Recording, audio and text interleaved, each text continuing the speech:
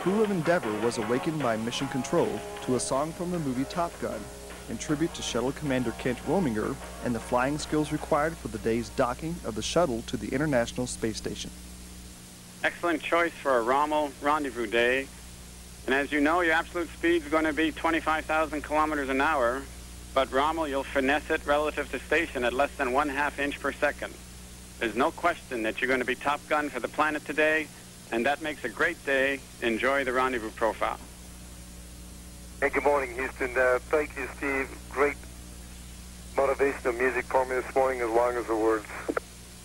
Rominger got started on the day's rendezvous activities, assisted by pilot Jeff Ashby and mission specialist Scott Parazynski and Chris Hadfield.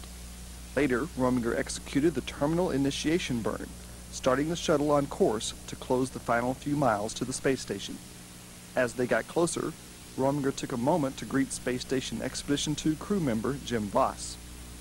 So we were just calling to give you an update, Jim. Uh, we're 22,000 feet away. You guys are clearly visible night as well as daytime, and you're in a beautiful machine. When Endeavour reached a point directly below the station, at a distance of about 600 feet, Rominger moved to the aft flight deck and took manual control of his ship, flying a quarter circle arc in front of ISS. He held position there until Mission Control relayed word that the station's solar arrays were locked in a proper position for docking. The SM and FGB arrays are feathered. You have a go for V-bar approach and go for docking. Copy, go for docking. Rominger pulsed Endeavour's jets and approached the station's docking port on the front end of the Destiny module at a rate of about a tenth of a foot per second. The shuttle closed in to the station and achieved contact and capture of the orbiting outpost. After completing leak and pressure checks, Endeavour's crew opened the hatch to the hallway between the shuttle and the station to retrieve supplies left by the station crew and drop off materials for the ISS residents. The crews cannot meet face to face until after Sunday's spacewalk due to the difference in air pressure between the vehicles. The Endeavour crew brought the supplies back into the shuttle's middeck and began preparations for the spacewalk to attach the new robot arm, called Canadarm2, to the station. The arm is essential to all future construction of the outpost. After finishing preparations and making final checks of their equipment, the crew got ready for bed, looking forward to the next day's work outside the International Space Station.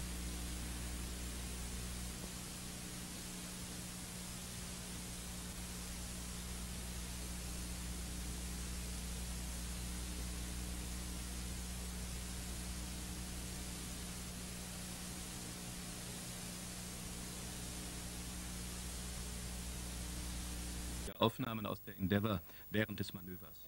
War schon das zielgenaue Bremsen äußerst kompliziert, wartet nun eine der schwierigsten Aufgaben auf das internationale Astronautenteam. Die Montage des mitgebrachten 18 Meter langen Krans. Bord des Shuttles befindet sich ein Versorgungsmodul und ein 18 Meter langer Kranarm. Für dessen Installation an der Außenwand wird die Crew dreimal außerhalb der Station arbeiten müssen. Close and personal. The U.S. shuttle Endeavour has docked with the International Space Station. Endeavour Commander Kent Rominger edged his craft into contact with the station more than an hour ago. Two astronauts will take their first walk on Sunday. They'll begin hoisting a Canadian-built robot arm onto the space station. It's intended to act as a construction crane to help add additional pieces to the orbiting outpost. And also up there, some NASA satellites are peering down on Mother Earth. Operating some 700 kilometers above the Earth, the satellites are sending some remarkable images from around the world. Among them, zooming in on the famous Hollywood sign in Southern California. Das Manöver, 300 Kilometer über dem Pazifik, verlief reibungslos. Endeavour hat unter anderem einen fast 18 Meter langen Roboterarm im Gepäck, der an der Außenseite der Raumstation montiert werden soll. Mit diesem Gerät sind Reparaturen an jeder Stelle der Raumstation möglich. Acht Tage lang bleibt Endeavour angekoppelt. Das erste Treffen der beiden Besatzungen ist für Montag geplant. Währenddessen funkte das Space Shuttle eindrucksvolle Bilder zur Erde. Mit aufwendiger Computertechnologie machte die NASA Aufnahmen von amerikanischen Großstädten und Sehenswürdigkeiten. Galopp heute Morgen im Londoner Hyde Park. Bei eiskaltem Aprilwetter formierten sich die Elitesoldaten der Königin um ihre Majestät an ihrem echten, aber inoffiziellen Geburtstag zumindest 41 Salutschüsse abzufeuern.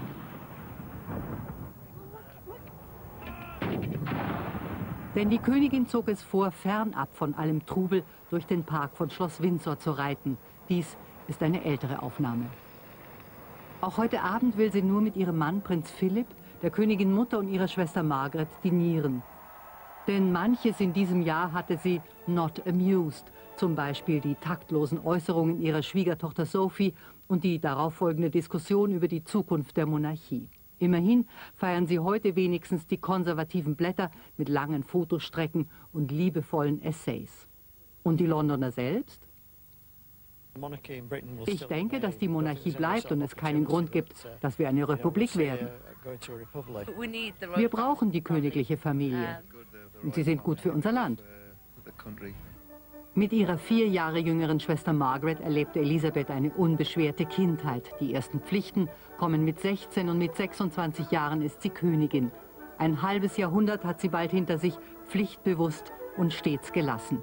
Die Menschen, sie danken es ihr. 70 Prozent der britischen Bevölkerung wollen, dass die Monarchie bleibt. 20 Prozent sind Republikaner und wollen sie loshaben.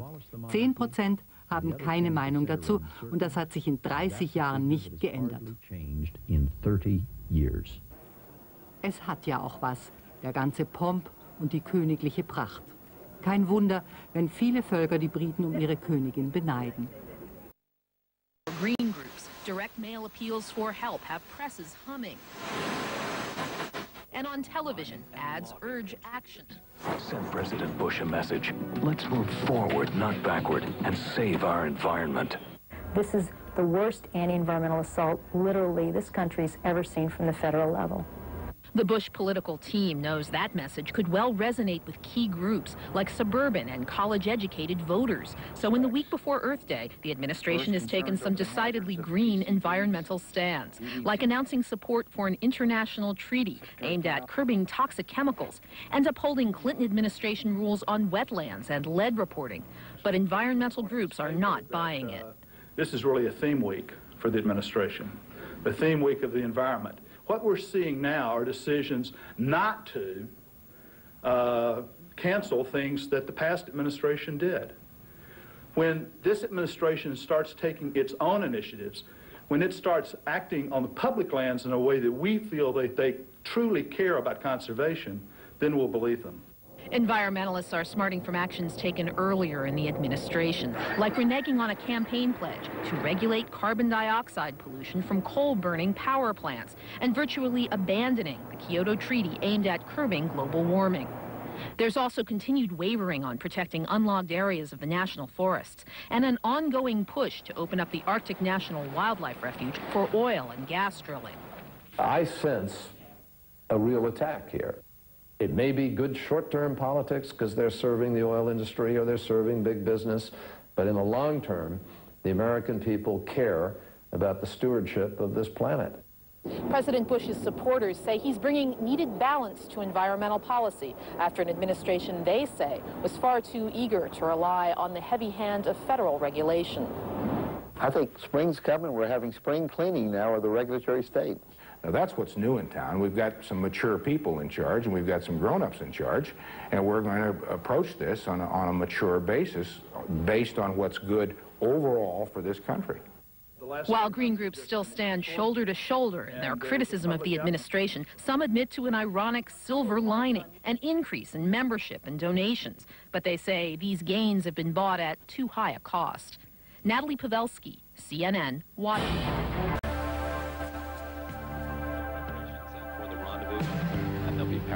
Powered now to conserve electricity. Also, in preparation for tomorrow's spacewalk by Chris Hadfield and Scott Parazynski, who are in the center of your picture here. Happy, thank you for all that. Her is uh, now uh, transferring early transfer items.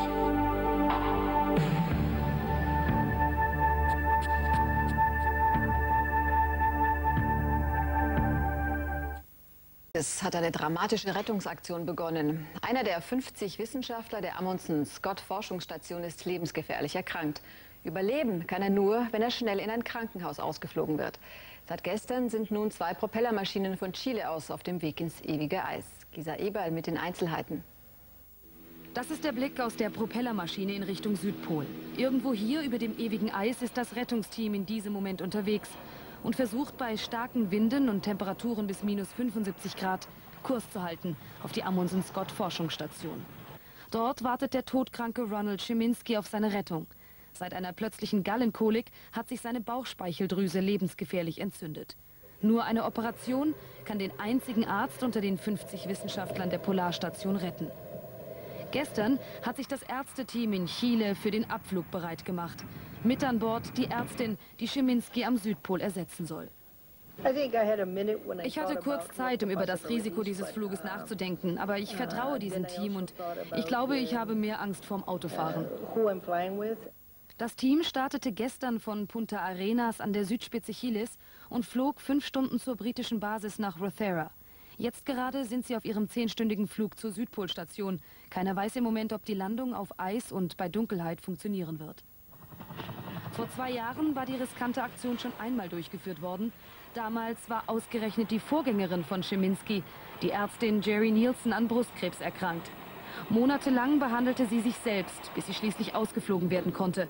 Sie konnte den Krebs besiegen. Wenn die Landung heute glückt, dann könnte auch Ronald Schiminski schon übermorgen durch eine Operation gerettet werden.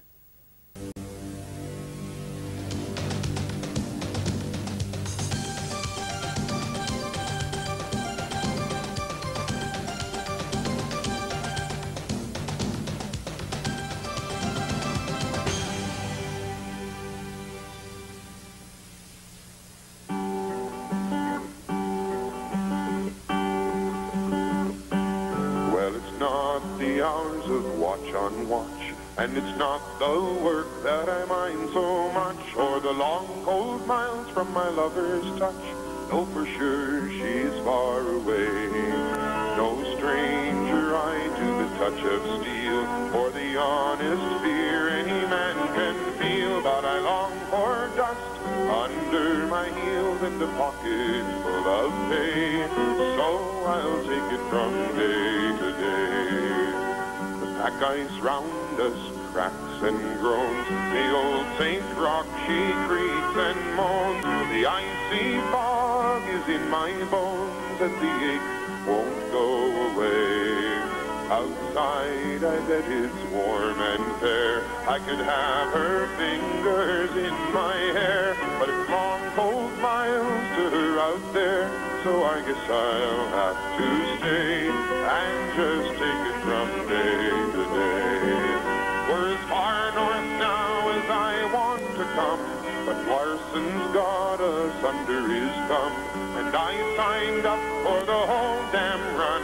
I can't get off halfway, but when I get back unto the shore, I'm going south where it stays warm, on my arm to help me spend my pain. So I'll take it from day to day. Good morning, Endeavour. Stan Rogers from Canada singing Take It From Day to Day with all the parallels of another symbol of hope, the old Canadian ship, Le Saint Roch. And welcome to the Olympics in space. We are going to make you all honorary Canadians with Chris carrying the flag into the stadium today. For four years, you've been training long hours day to day, but today is the day. And from the edge of our seats on the ground, we will be with you as our proud heritage unfolds our future to christen Canada's place in space.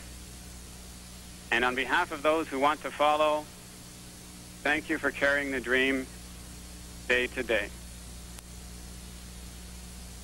That was a great piece of music to wake up to. Stan wrote some great music about exploring and about exploring Canada today and put the Canadarm2 onto the space station. It was a great way to wake up.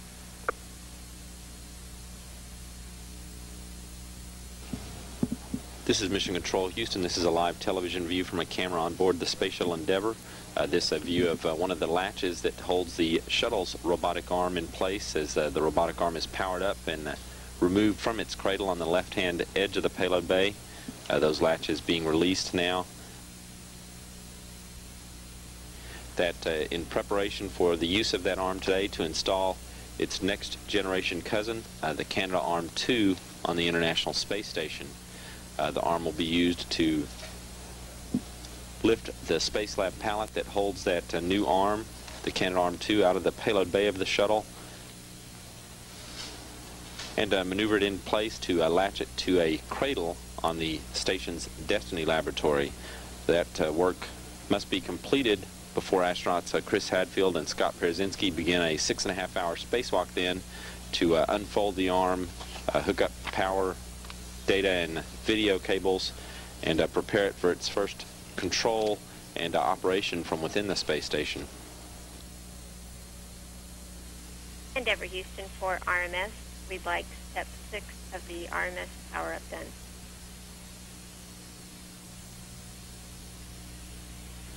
Ashby's now uh, maneuvering the shuttle's robotic arm down into place to uh, latch on to the pallet's fixture.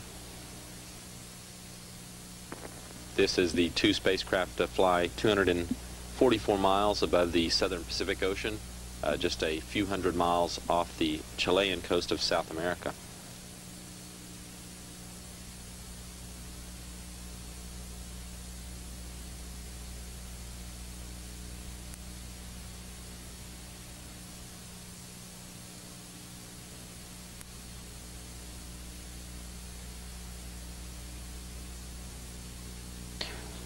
This is Mission Control Houston. This is an image uh, from a camera mounted at the midway point of the shuttle's robotic arm showing the uh, Spacelab pallet holding the Canada Arm 2 above the payload bay of the shuttle. Pilot uh, Jeff Ashby, assisted by European Space Agency astronaut Umberto Guidoni, are working uh, with the shuttle's robotic arm, maneuvering that pallet uh, above the payload bay and into a position where it will be latched to the International Space Station. The two spacecraft are currently above Central Africa.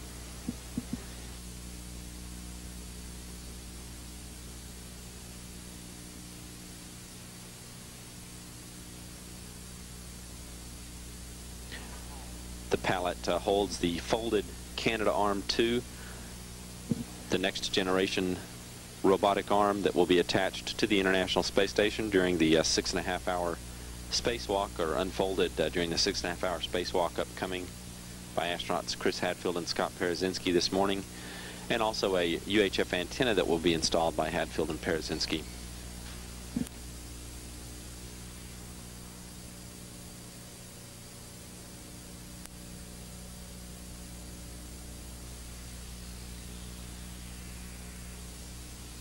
Uh, the robotic workstation lab post-ground checks and PCS config is complete. That's 6.126. Copy. With the DCP checks. That's good news. This is a live television view from a camera aboard the Shuttle Endeavour as uh, pilot uh, Jeff Ashby continues to maneuver uh, Endeavour robotic arm uh, with the Spacelab pallet attached into position to attach the pallet to a latch on a uh, lab cradle assembly on the uh, Destiny Laboratory module's exterior of the International Space Station.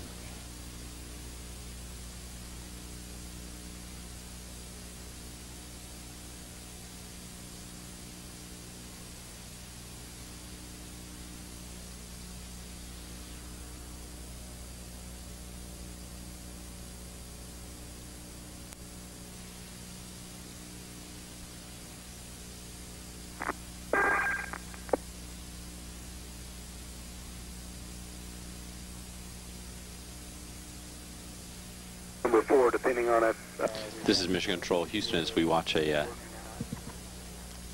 television picture from Endeavour uh, showing uh, the shuttle's robotic arm uh, with the Space Lab pallet attached. Four is partially open. We obviously need to modify the procedure a little bit, but uh, we'll get you words very shortly on where we would like it. Okay. Uh, step 1.1 is complete. I did close the supply crossover shut-off valve.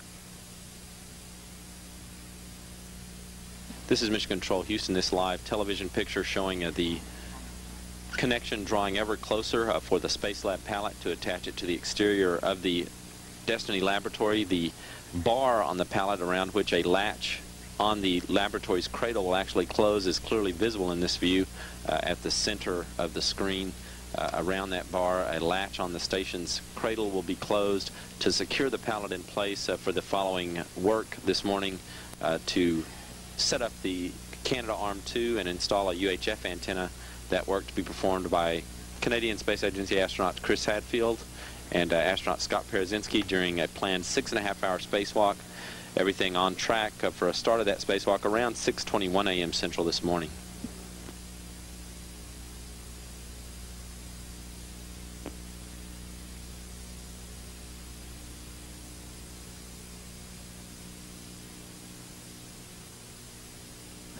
This is Mission Control Houston, uh, again with the uh, Spacelab pallet successfully uh, latched to the exterior of the International Space Station's Destiny Laboratory. We would like you to inhibit the FD FDIR status.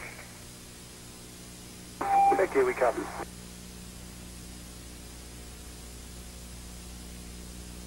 This is a live television view now from a uh, camera aboard Endeavour, uh, looking at the uh, shuttle's robotic arm, the arm poised just above the uh, airlock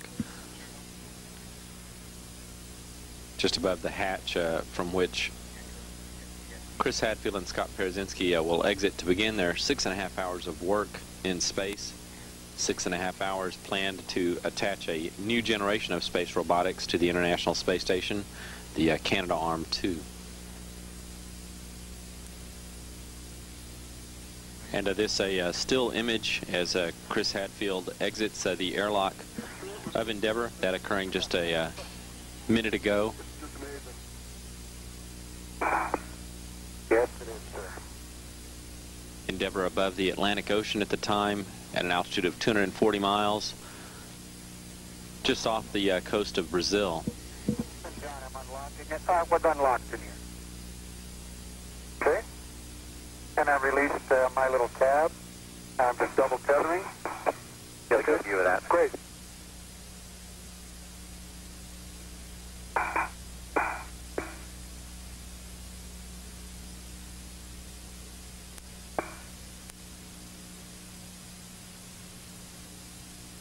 Perfect. Yep, I'm just getting in. Okay, so I'm looking for 11 o'clock, Romeo, Romeo, Echo 12, I believe, John. And uh, Jeff, if you can come body right also to get to the bolt number one. is happening. Come in body right. That's a good read, Scott. So all good been work up here before us.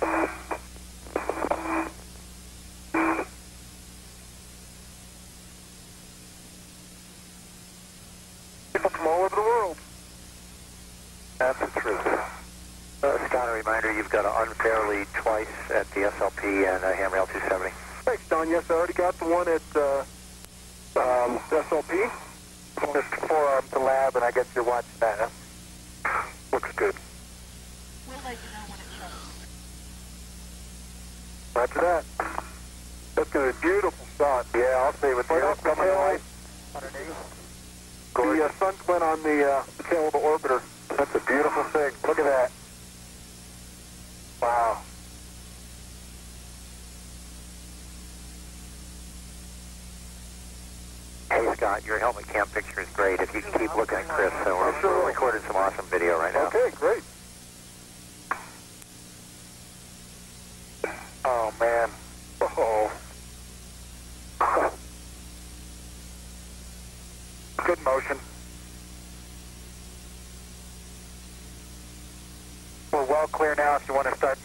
This is Mission Control. Houston As uh, astronauts Chris Hadfield and Scott Parazynski uh, complete the installation of a UHF antenna to the exterior of the Destiny lab.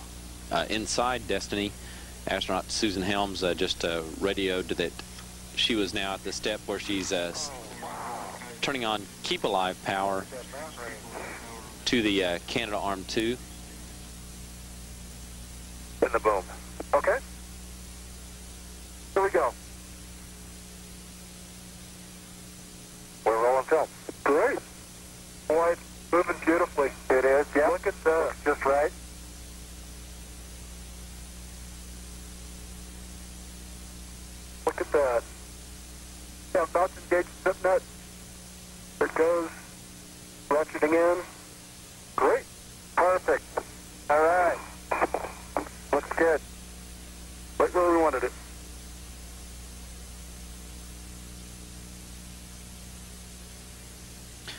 Jeff Ashby is maneuvering Chris Hadfield uh, back to the Space Lab pallet where the Canadarm2 is located.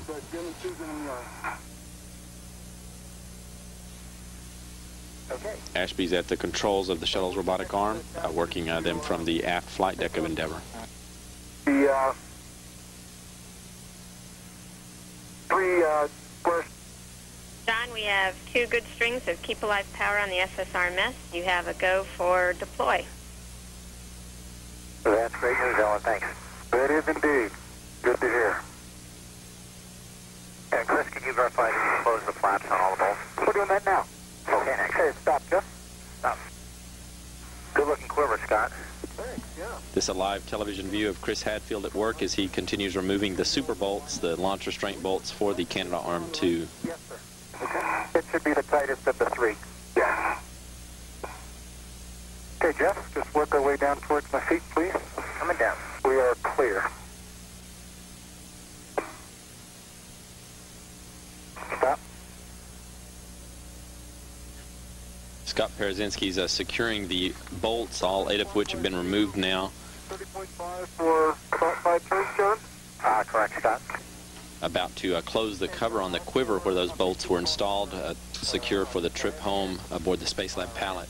All the uh, eight super bolts, uh, yard-long bolts that held the arm in place during its launch have been removed now. Okay, I guess I go to egress, huh? Egress. Next step in the process is uh, to initial initially raise the boom, the still folded boom of the arm, that in preparation for its unfolding, which will follow uh, that uh, initial raise. Okay. Now, John, where's my tether? Oh, I see it. Fine. See, Jeff, I can get my left hand on it right now. Okay, let me get up to my rail position. I got your somebody else. Okay.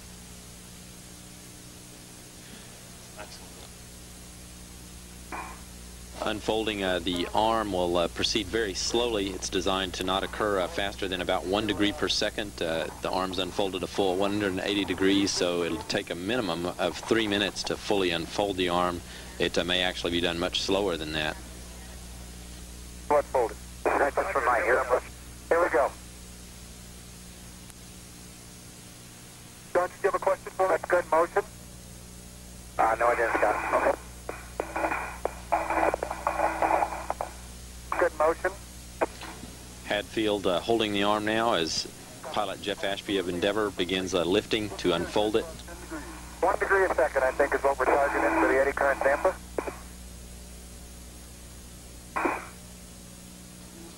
Endeavour and the International Space Station are 238 miles above the mid-Atlantic Ocean.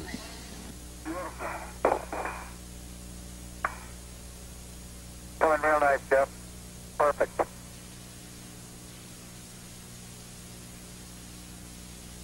Look at the size of this thing.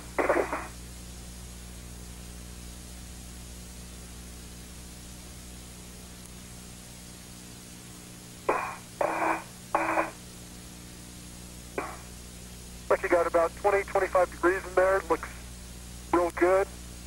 Coming real well. All the EDFs are staying out in their detents.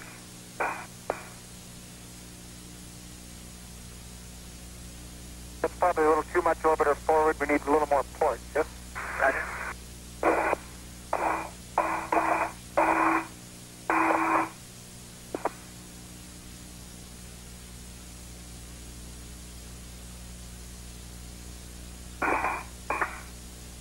Changing hands. This is all good motion.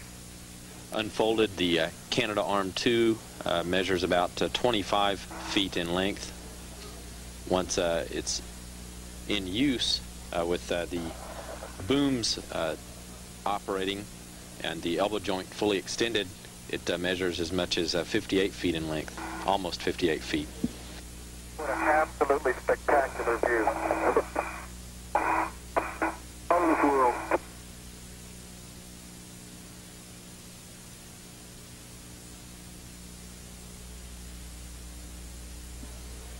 Uh, 2. On this side?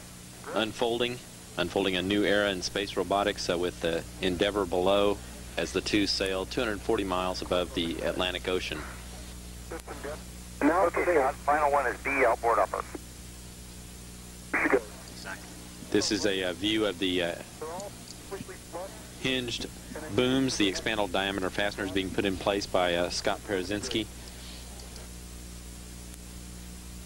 Okay, awesome. And um, we need you to, the next step is to route safety tether under the F3A PFR and then ingress. And there? And for Chris, install the upper... Uh, With the uh, the fasteners pushed in, now uh, Parazynski will use a uh, power tool to tighten them.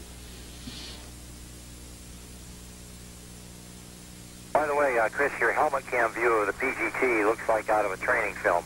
That's a perfect view there.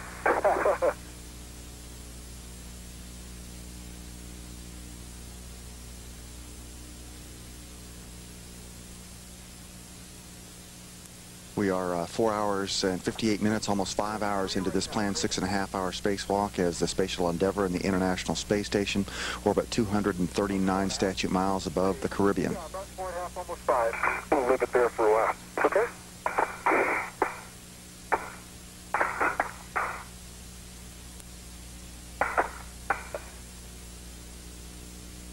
Be a couple feet, Jeff.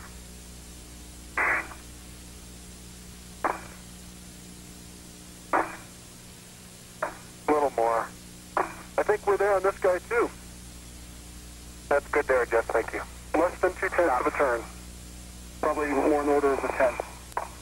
Cam ready on mine, A outboard upper. Here we go. Okay. And let you come on down. That work for you? Sure.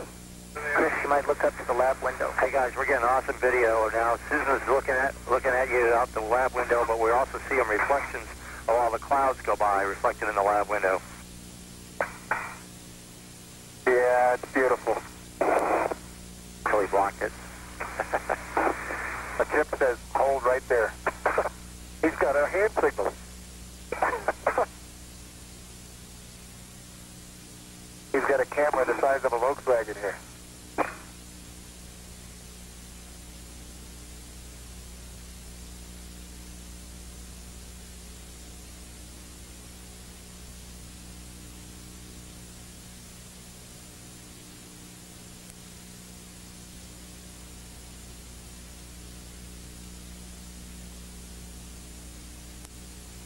This is great.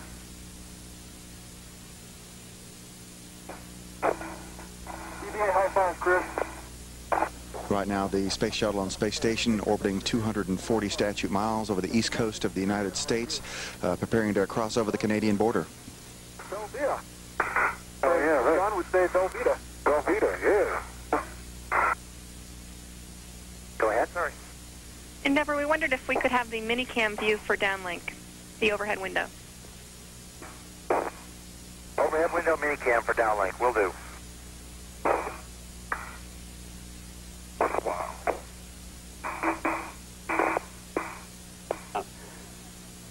And Chris, I think you'll like this. It's uh, Roger Roger Doucet singing at the Forum in Montreal before a hockey game.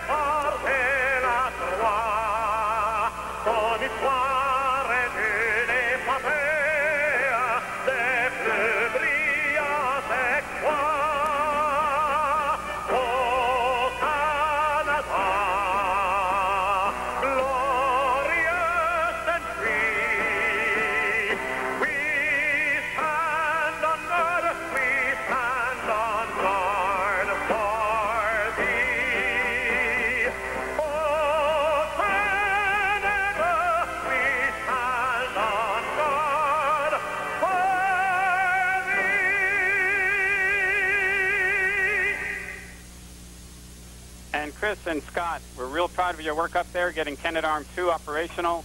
And if you look, if you turn around and look down, I believe you're right over Newfoundland.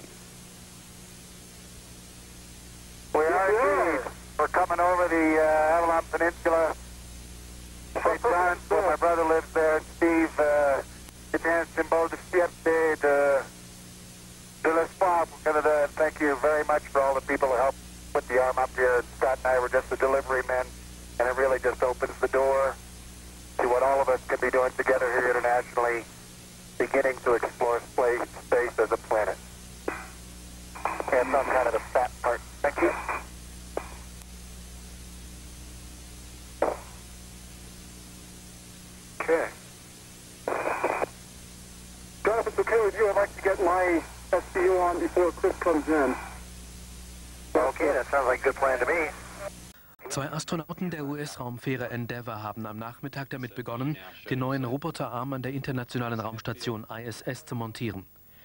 Der fast 18 Meter lange Arm wurde vorher von dem Roboter des Shuttle aus der Ladebucht gehoben und dann an seinen Platz manövriert.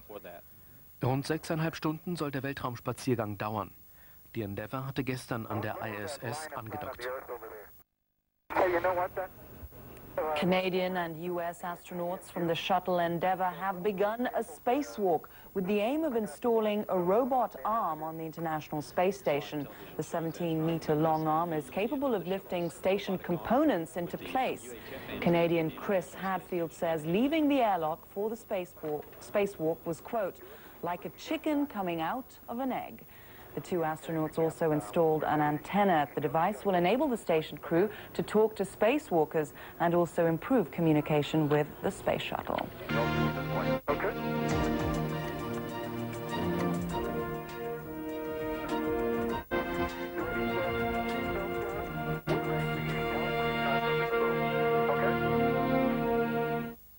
Der knapp 18 Meter lange und 2 Millionen Mark teure Arm soll Außenarbeiten an der ISS übernehmen und damit die Zahl der riskanten Ausstiege verringern.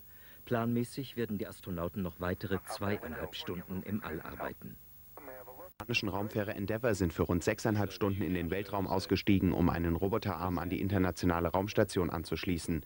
Die Astronauten stellten die nötigen Stromverbindungen zwischen Raumstation und Arm her. Außerdem soll das Team eine Hochfrequenzantenne montieren. Sie soll den Kontakt zwischen der ISS-Station und den Arbeitern im All herstellen. Bis heute von der Raumfähre Endeavour. Zwei Astronauten machten den ersten Weltraumspaziergang. Allerdings war der mit Arbeit verbunden. Sie montierten einen Greifarm und eine Antenne an die Raumstation ISS. Erst gestern hatte die Raumfähre Endeavour an die Raumstation angedockt. Acht Tage lang dauert der Besuch und morgen werden sich die beiden Besatzungen zum ersten Mal treffen. Aus der Raumfähre Endeavour ausgestiegen, um einen Roboterarm an der ISS anzubringen. Der 18 Meter lange Ausleger ist der größte Beitrag der Kanadier zur internationalen Raumstation und soll an jeder Stelle der ISS Arbeiten ausführen können. Es ist der 19. Weltraumspaziergang beim Bau der Orbitalstation. Die Astronauten der amerikanischen Raumfähre Endeavour haben mit der Montage eines neuen Roboterarms an der internationalen Raumstation ISS begonnen. Sie stiegen für rund sechseinhalb Stunden in den Weltraum aus, um den Arm an Elektrokabeln anzuschließen. Er wurde vorher von einem Roboter des Shuttle aus der Ladebucht geholt und an seinen Platz manövriert. Während des Ausstiegs wollen die Astronauten auch eine Hochfrequenzantenne anbringen. Sie soll den Kontakt zwischen der ISS-Station und den Spaziergängen im All herstellen. Seit Stunden arbeiten ein Amerikaner und ein Kanadier an der Außenhülle der internationalen Raumstation ISS. In der Schwerelosigkeit montieren sie einen Greifarm, den sie gestern mit der Raumfähre Endeavour zur ISS gebracht hatten. Und obwohl es bereits der 63. Weltraumspaziergang in der Geschichte ist, bleibt doch ein gewisser Nervenkitzel. Der Sonntagsspaziergang der beiden Astronauten dauert sechseinhalb Stunden und ist alles andere als entspannend. Bei ihrem hochkomplizierten Manöver installieren sie den Roboterarm, indem sie ihn zunächst durch Elektrokabel mit der internationalen Raumstation verbinden. Entwickelt wurde der 18 Meter lange und 2 Milliarden Mark teure Arm von kanadischen Wissenschaftlern. Der Roboter ist in der Lage, tonnenschwere Module zu bewegen und soll für Reparaturen eingesetzt werden. Risikoreiche Ausstiege von Astronauten können dadurch reduziert werden.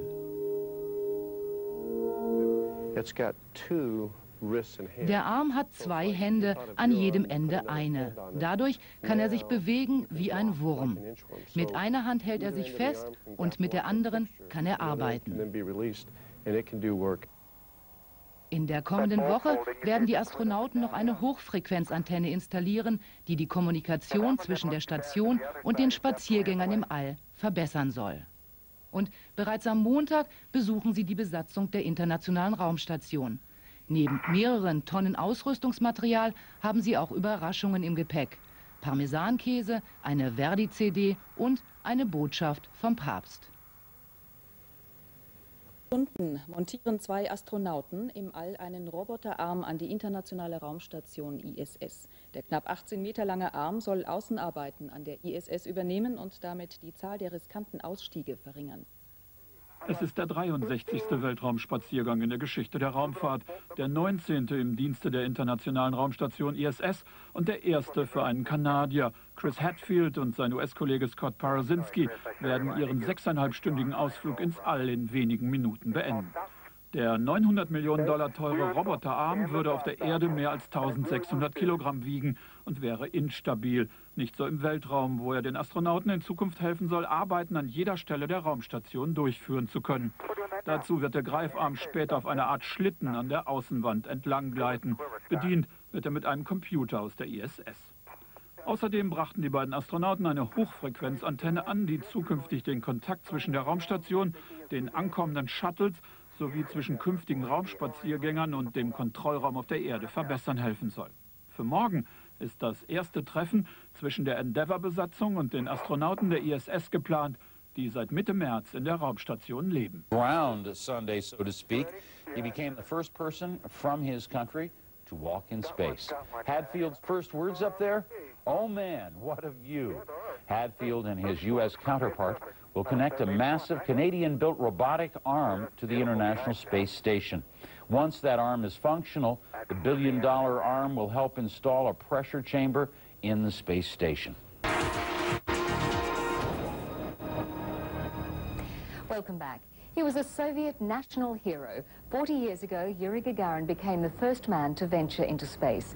But as Jill Doherty reports, these days, Gagarin's historic mission doesn't always inspire the national pride it once did.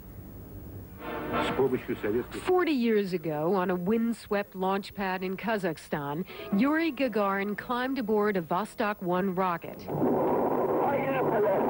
At 9.07 a.m., he shouted, Poyekhali, let's go, and blasted off into history, the first man ever to enter space. He was 27 years old.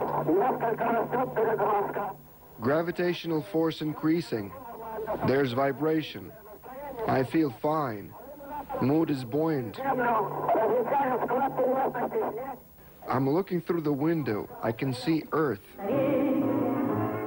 Gagarin's flight lasted just one hour and 48 minutes, one brief orbit around the Earth. He returned a hero, the perfect Soviet man. Russian school children memorized his biography. But Gagarin's attraction went beyond medals and glory. Um, uh, Yuri drew people to him with his simplicity, his easy way of dealing with you. He was very communicative. His smile. When you saw him smile, you just had to smile back. Yuri Gagarin never returned to space. Seven years later, he was killed in a routine jet flight. The cause of that crash is still a mystery.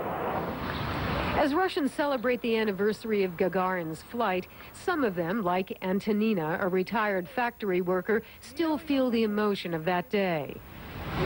I love Gagarin very much. He was brave and determined, and I admire him because he was a Russian man, a hero. But Ruslan says Gagarin has never been a hero for him. They used to tell us, if you study hard, you'll become a cosmonaut. It was really silly. Any one of us could have been the first man in space. I don't think there are any heroes in Russia now, says Olga, especially for young people. 40 years ago, some young Russians celebrating Gagarin's return held up a sign. We believed in this, it said. Today in Russia, such faith is hard to find. Jill Doherty, CNN, Moscow. Well, times have certainly changed since that first heroic trip into the unknown. As Ryan Chilcote reports, an American millionaire has paid Russia a lot of money to be the first tourist in space. U.S. millionaire Dennis Tito is now scheduled to lift off April 28th aboard a three-man Soyuz spacecraft for an eight-day round-trip journey to the International Space Station. He says his goal is to open up space travel to ordinary people. I would like to uh, uh, show that this can be done. Uh, it's not the most difficult uh, accomplishment in the world, and more and more people uh, should uh, follow. Tito reportedly paid Russia $20 million to fly to the space station Mir, but that plan went up in smoke when the Russians ditched their aging space station in the South Pacific last month. Instead, Russia has given Tito one of their spots on the International Space Station. For those who don't have $20 million, the Russian Space Shuttle Flight Simulator here in Gorky Park is the next best alternative. You can get a more down-to-earth seat on this relic of the Soviet space program for just $5. I'd love to look at the moon and Earth from afar. I'm jealous that he gets to go. I can't stand heights, and so you won't get me up there. I like to see it on the ground, but from up there, no. But NASA says the International Space Station is not an amusement park, and an amateur like Tito would only get in the way. Tito's Russian flight commander praises him and warns NASA if Tito doesn't fly, he says, the Soyuz spaceship doesn't fly.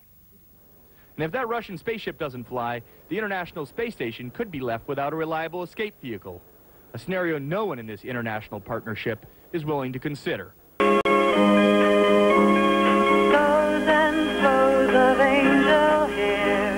A song dedicated to pilot Jeff Ashby awakened the crew aboard Endeavour for their fifth day on orbit. Good morning, Endeavour. Both sides now from Judy Collins for Jeff. A song for the moment from Paige. Good morning, Houston. No, Paige, thanks for that uh, great wake up. We're sure looking forward to another fine day in space and uh, interesting this beautiful space station.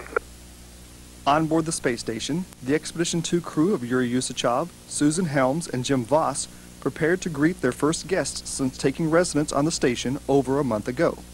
Before the shuttle crew entered the station, mission specialist Scott Parazynski powered up the shuttle's robot arm so its cameras could help view the testing on the new station arm that was attached during Sunday's spacewalk.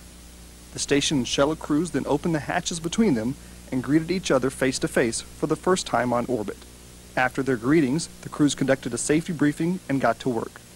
The new space station arm, commanded from the station's Destiny lab, took its first step off its pallet and onto the side of the lab, becoming a part of the space station. The arm was put through a series of tests that showed it is in excellent health.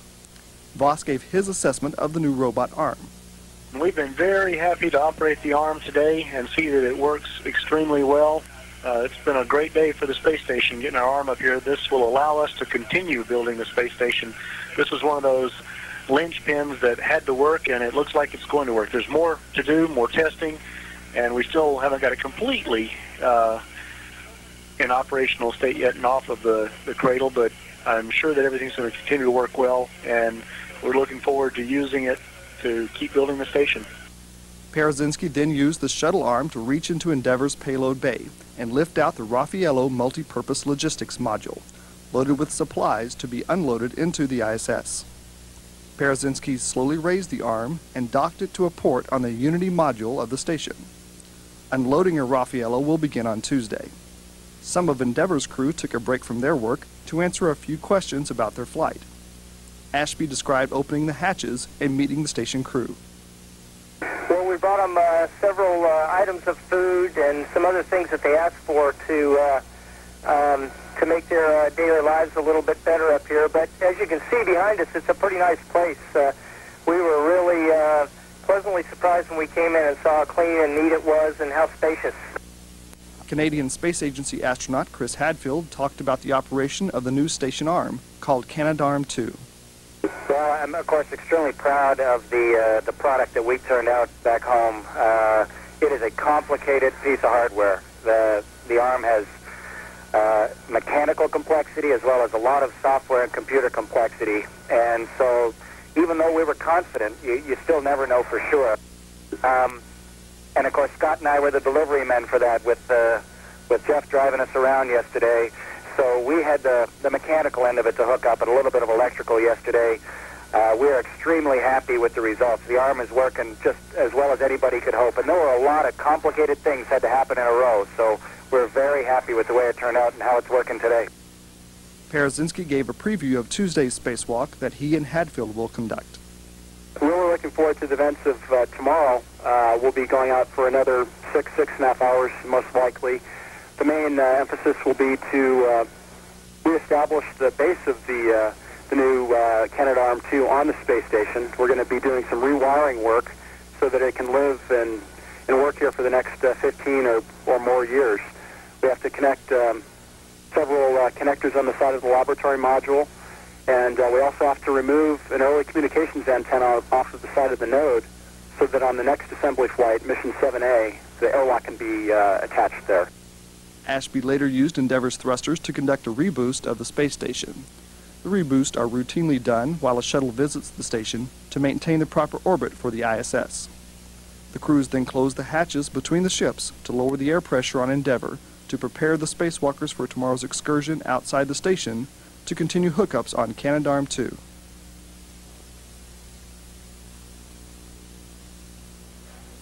This is Mission Control Houston. This is a, a playback of video recorded uh, earlier this morning on board Endeavour in the International Space Station.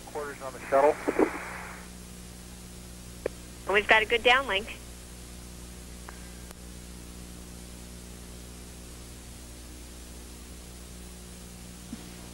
This a tour recorded uh, by the crew earlier of the uh, entire complex, the uh, station. It's a pretty uh, crowded mid-deck. And shuttle.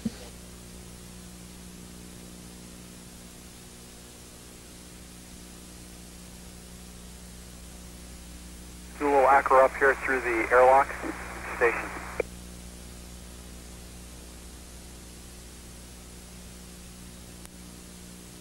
John's uh, doing a LIO change out on the uh, EMUs here. Starting to float up through the uh, PMA.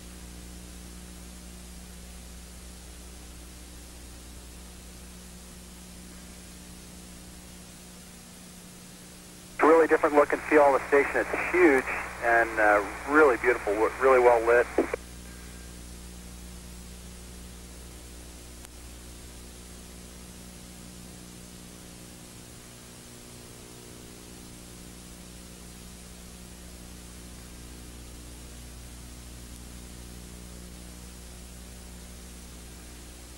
There's the bell.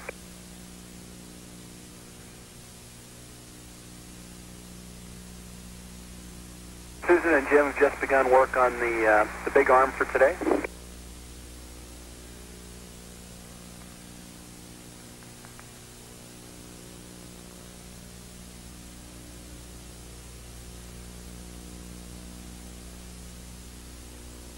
Chris is uh, trying to figure out all the, the camera setup here.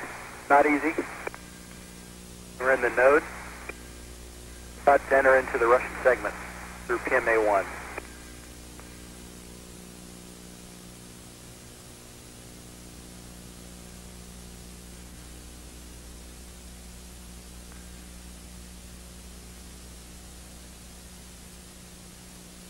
Just pointing out the cone that uh, crew's going to have to uh, relocate on an upcoming EVA.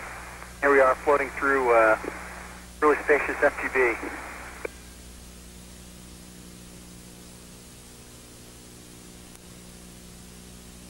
It's amazing you can just fly like Superman the whole length of it.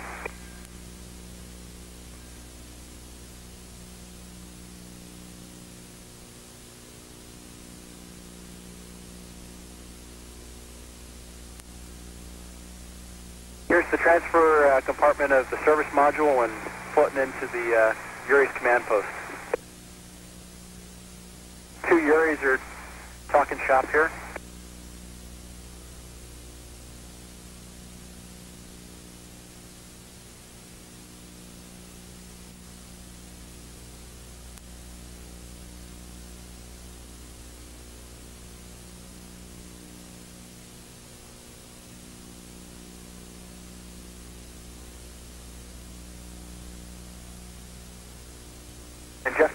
Back into uh, the Soyuz here. Here's the orbital module, and uh, down below is the uh, reentry portion of it. This now back with a live television view of the Here we are back with ARM Houston, uh, really beautiful backdrop. Thanks, Scott and Jeff, for that tour. It's just incredible how big and beautiful the station is. We appreciate the look inside. Changed a lot since the last time we were here, Ellen. It sure has. Can't wait to go back.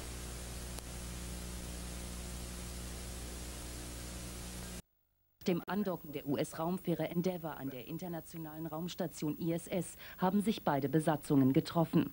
Die ISS-Crew bereitete ihren Kollegen einen herzlichen Empfang.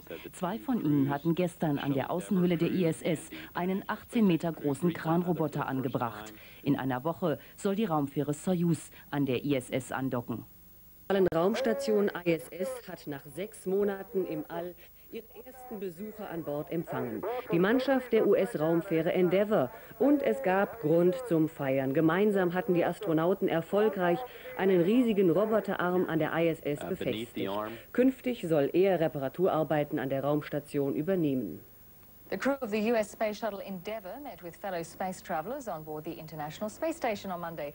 There were handshakes and hugs all around after Endeavour crew members floated into the hatch. The rendezvous came after two shuttle astronauts installed a billion-dollar robotic arm on the space station. The arm will serve as a high-tech construction crane throughout the station's lifetime. Meanwhile, the U.S. space agency NASA has dropped its objections to a space station visit by the world's first space tourist. California businessman Dennis Tito paid Russian authorities $20 million for the privilege. He met with officials in Moscow Monday in preparation for Saturday's scheduled blastoff with a pair of Russian cosmonauts. NASA had expressed concern that Tito's lack of formal training might endanger the mission. But after a telephone conversation between the heads of the Russian and U.S. space agencies Monday, Tito was cleared to visit the space station for one week. I will be doing uh, my own experiments, uh, both uh, uh, stereo and video photography, as well as still photography. And also hope to enjoy the beautiful view of the Earth. Tito was originally scheduled to visit Mir, but the destination was switched when the Russian space station was scrapped. How's that for an adventure holiday? Business News now. And Andocken der US-Raumfähre Endeavour an die internationale Raumstation ISS haben sich die Besatzungen ausgelassen begrüßt. Nach dem Öffnen der Ladeluken fielen sich die Astronauten in die Arme. Die Endeavour-Crew hatte am Wochenende in mehrstündiger Arbeit einen riesigen Roboterarm an die Weltraumstation montiert. Jetzt soll mit Hilfe des Greifarms eine neue Andockstelle an der ISS installiert werden.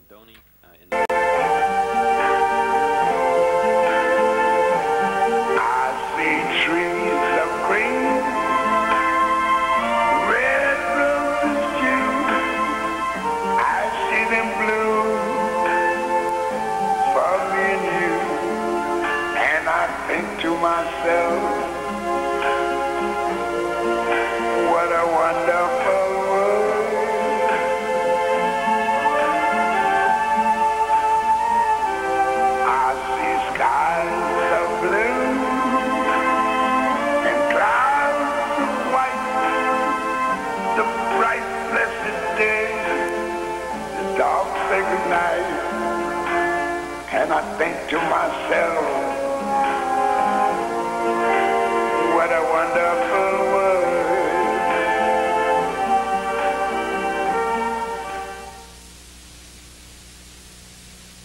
What a Wonderful World, with the best rendition ever by Louis Armstrong, chosen by Gail. Good morning, Houston and Steve. Uh, thank you very much. Uh, I don't think you could say it or sing it any better than that. Really is a beautiful day, and uh, really looking forward to seeing it from a really heavenly perspective outside of EVA today. And Scott, we want you to know that during EVA 1, you stopped MCC with your expressions, expressions of awe. And we really encourage you to keep up the color commentary. Have a great EVA. Well, thank you very much, Steve. We're, both Chris and I are uh, thrilled to be going out today, and uh, we have some exciting work ahead of us. Hey, good morning, Alan. Beautiful day. Have you loud and clear also. Houston, EV2, contract. EV2, loud and clear as well. Good morning, Scott. Good morning, Alan. Have you loud and clear.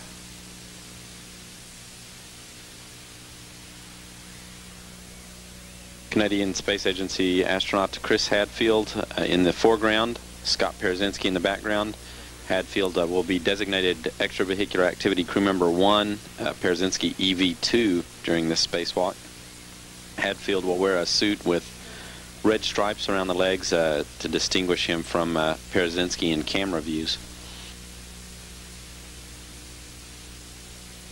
The two astronauts are wearing their liquid cooling vent garments, uh, those garments with uh, literally miles of very tiny tubes uh, sewn throughout them that through which uh, water circulates at uh, the uh, desired levels of the spacewalker to provide cooling underneath their spacesuits.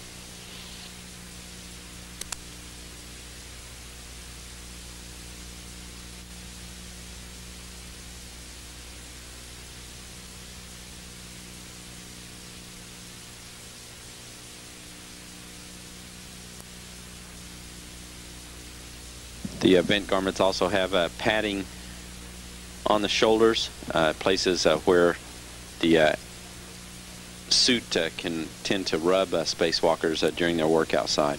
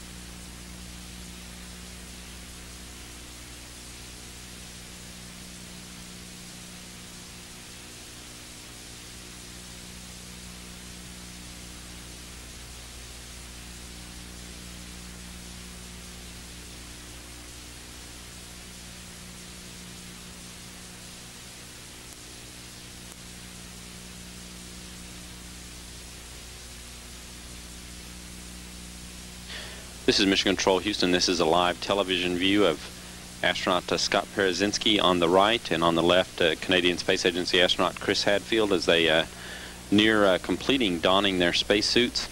Parazynski adjusting his helmet lights and uh, cameras. Uh, the lights located just below the micro camera which is right on top in this view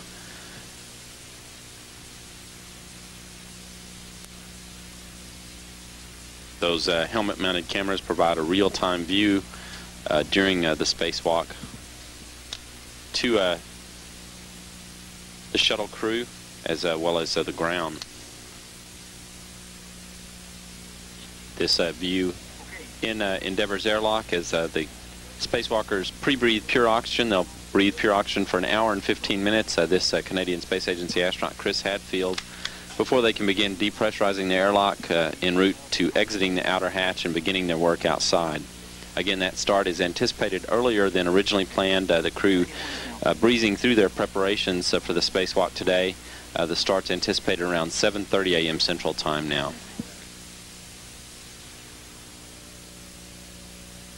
Rominger maneuvering in uh, the essentially the tool belt for the spacesuits.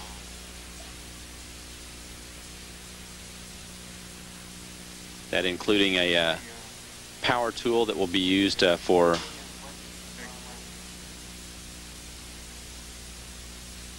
power tool that's used uh, for uh, tightening and loosening bolts uh, during the spacewalk.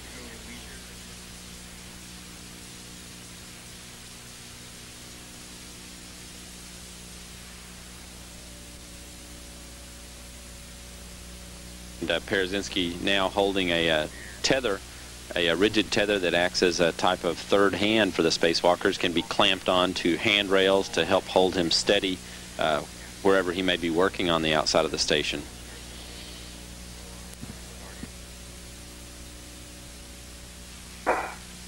This is a view of the uh, astronauts at work.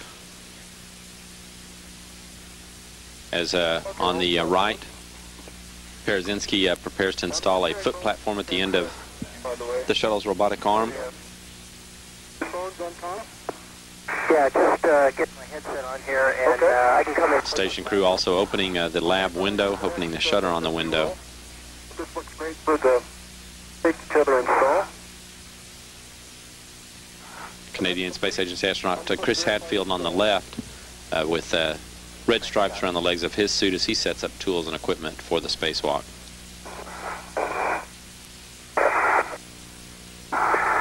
They've got uh, four of these latches on the TSA. How about that? What's up there? I know people will think that they're five. Really? Yeah. How about that? Endeavour Houston for RMS, check burn.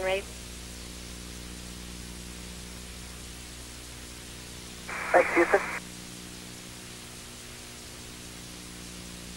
John, I have the uh, port TSA open. Nothing came flying out, which is good. I see in the uh, forward pull-out tray, in the forward edge of it, there's a mark for a trash bag. So I'm going to get a tether ready, and then I'm going to pull that up. Sounds good, Chris. Hadfield is at work uh, further up on the station above Parazynski at the Unity module, uh, where he's performing tasks uh, related to removing a communications antenna uh, from a port on Unity, clearing the way for the detachment of an airlock on the next shuttle assembly flight to the station. I'm going to put the two connectors. Let me know if you can see them both. We have a good view of the connectors. Okay, this is how they're supposed to look, although this one is missing one screw. And this is what they look like when all the screws back out and the wing tab piece flies off. We see that. Um, you can see in the backing plate there are two holes where the screws should have held it. So the screws must have disappeared a while ago. And it would have been friction held in there um, until I released it, and then it just spun off. So what I'm doing now is just trying to peer in as best I can with this helmet and see if I could spot it anywhere. This is uh, Chris Hadfield's helmet-mounted camera. Hadfield explaining a connector that uh, came apart as he took it off. Those are connectors associated with the communications antenna he's removed uh, from the port on Unity. He's at a port on the Unity connecting module on the station. However, this thing could be in the CBM mechanism, right? This is live television from Scott Parazynski's helmet-mounted camera. In a second. Uh, standing by as uh, station crew checks the uh, power connections he's made for the primary power to the uh, fixture for the Canadarm2. I've uh, cinched up uh, the P450 and 451 uh, duties, and uh, I put on uh, the Velcro strap on the lower portion, and I'll get the upper portion next. This is Mission Control Houston. Uh, Chris Hadfield uh, is retrieving uh, several T-handle tools, the tools used to turn the uh, mechanisms that hold the panels on the exterior of the Destiny Lab, that uh, in anticipation that uh, another panel on the lab may have to be removed to double check further connections that could be the source of difficulties with the, the backup power connection for the grapple fixture that was made by uh, earlier in the spacewalk, but failed to show a power feed, a backup power feed being made to that fixture for the arm. One red left and one adjustable. This a view of the uh, Canadarm2. As seen from the helmet camera of uh, Scott Parazynski, that arm powered uh, through his connections, uh, the uh, through the primary power connection. Uh, the station now turning again to another check on the backup power connection. Yeah, this is the way to translate on the lab. Isn't that great? And if you flip 180, you can see where you're going as you translate along.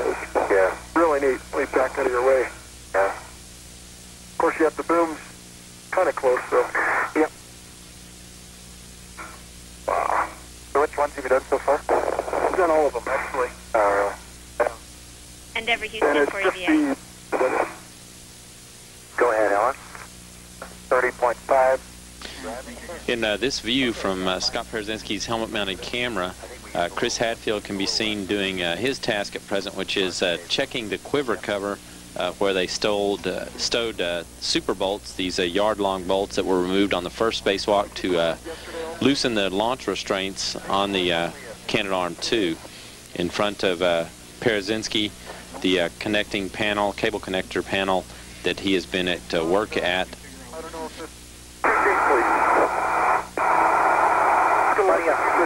Chris, Money up, I wanted you to, uh, not a very long one, is it? It's fine. Yeah, that should be it. Okay. Good motion. Watch my back third. Yeah. You have a foot? Endeavour Houston, it doesn't matter. Okay. Yeah, Alpha 3 is only a 10, 10 foot nine.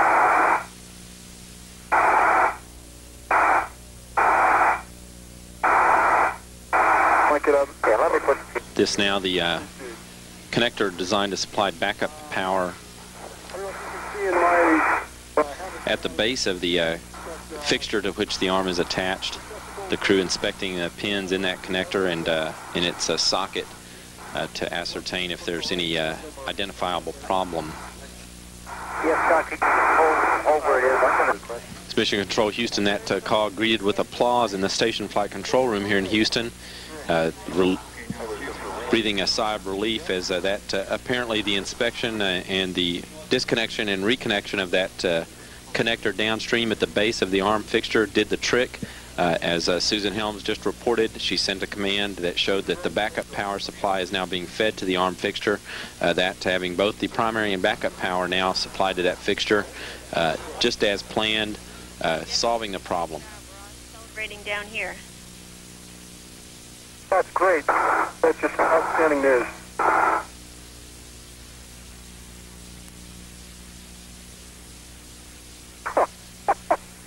yeah, I'm holding on to one fabric handrail with the world up to my right. It's just unbelievable. Traveling 18,000 miles an hour. Yeah, it's not bad. With my face into the wind. Unbelievable.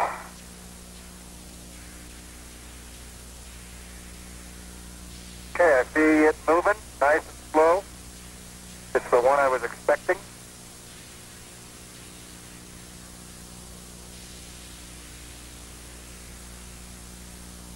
See the Rockies. Woohoo! Off in the distance. Real oblique. I'll take a picture anyway.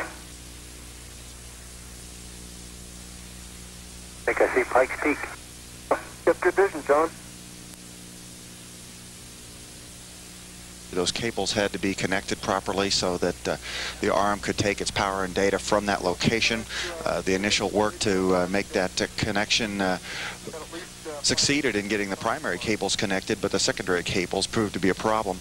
Uh, the crew opened an additional panel and was able to get access to a connector, remove that connector, reconnected it, and then was able to restore power to the secondary circuit.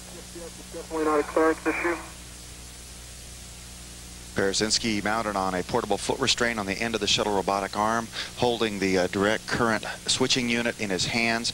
Uh, in that box, he's going to attach it to a, an attachment point on the side of the Destiny Laboratory module. You kind of have to lay down under the slide wire. Yeah. All of the objectives for today's spacewalk so far uh, accomplished, although there were a couple of problems that have lengthened the spacewalk. Uh, one was the uh, inability of the spacewalkers to initially get the secondary pow power to the Canadarm2 uh, attached. They had to open an additional panel and uh, disconnect and reconnect one of the connectors under that panel uh, in order to restore the electricity, uh, the power and data uh, through that system, and it worked well. In addition, uh, early on the spacewalk, uh, they removed an early communications antenna from the common berthing mechanism on the Unity module uh, to free it up for the arrival of the new airlock on the next space shuttle mission.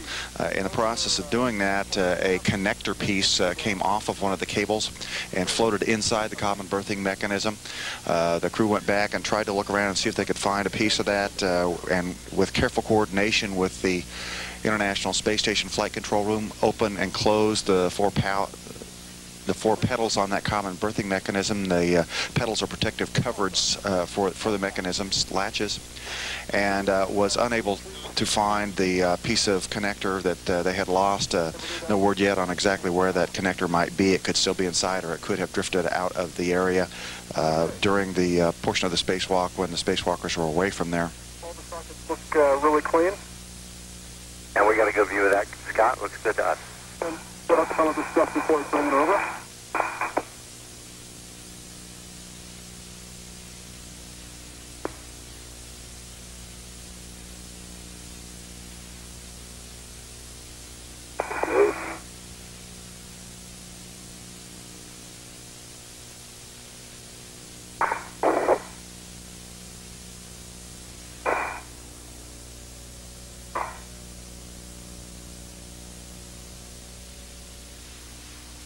Once crew goes to sleep, the uh, Payload Operations Center at Marshall Space Flight Center in Houston is going to be conducting uh, ground-commanded testing and checkouts of that for uh, preparation for the payload transfers on the following day.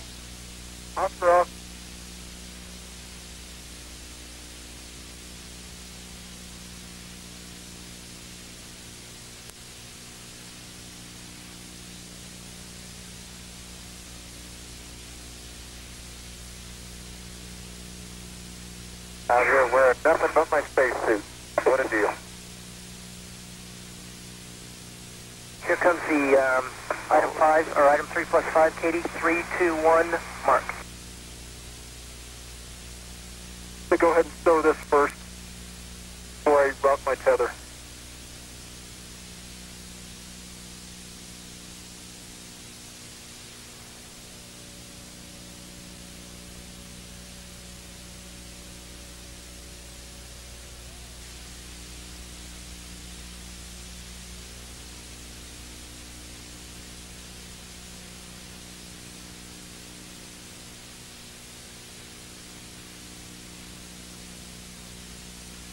small plane is travelling from this British base towards the South Pole to rescue a doctor who is actually ill at the Amundsen Scott base. This is the British base and this is the plane. It's a very tiny plane known as a Twin Otter and the reason they're using this very tiny plane, you can actually see it better here, is it can withstand temperatures of minus 75 degrees Celsius before its hydraulic fluid begins to freeze. We keep you up to date with that situation and when it does reach the South Pole it rests for 10 hours and hopefully it will get a weather window to come off and bring the doctor back into Dennis Taito kann als erster Weltraumtourist ins All starten. Die NASA gab nach langem Zögern ihren Widerstand auf.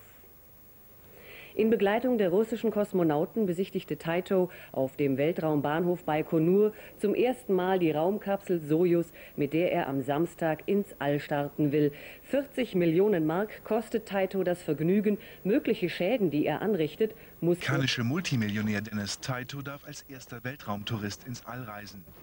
Die US-Weltraumbehörde NASA hat nach langem Zögern dem Vorhaben zugestimmt. Der 60-Jährige bekam heute eine Ausnahmegenehmigung für seinen Flug zur internationalen Raumstation ISS.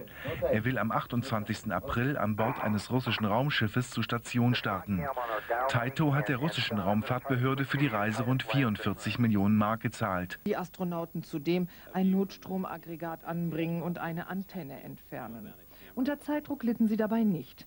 Für den Fall von Verzögerungen hatte die NASA von vornherein einen dritten Ausstieg einkalkuliert. Genug Gelegenheit also, das Great Barrier Reef vor der australischen Küste zu bewundern.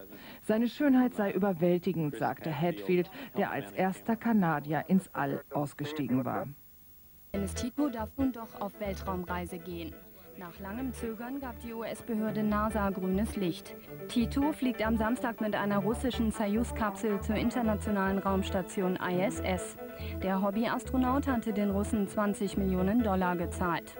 Aus Sicherheitsgründen hatte die NASA sein Vorhaben zunächst gestoppt. Der 60-Jährige wird fünf Tage im All die Arbeit von zwei russischen Kosmonauten begleiten.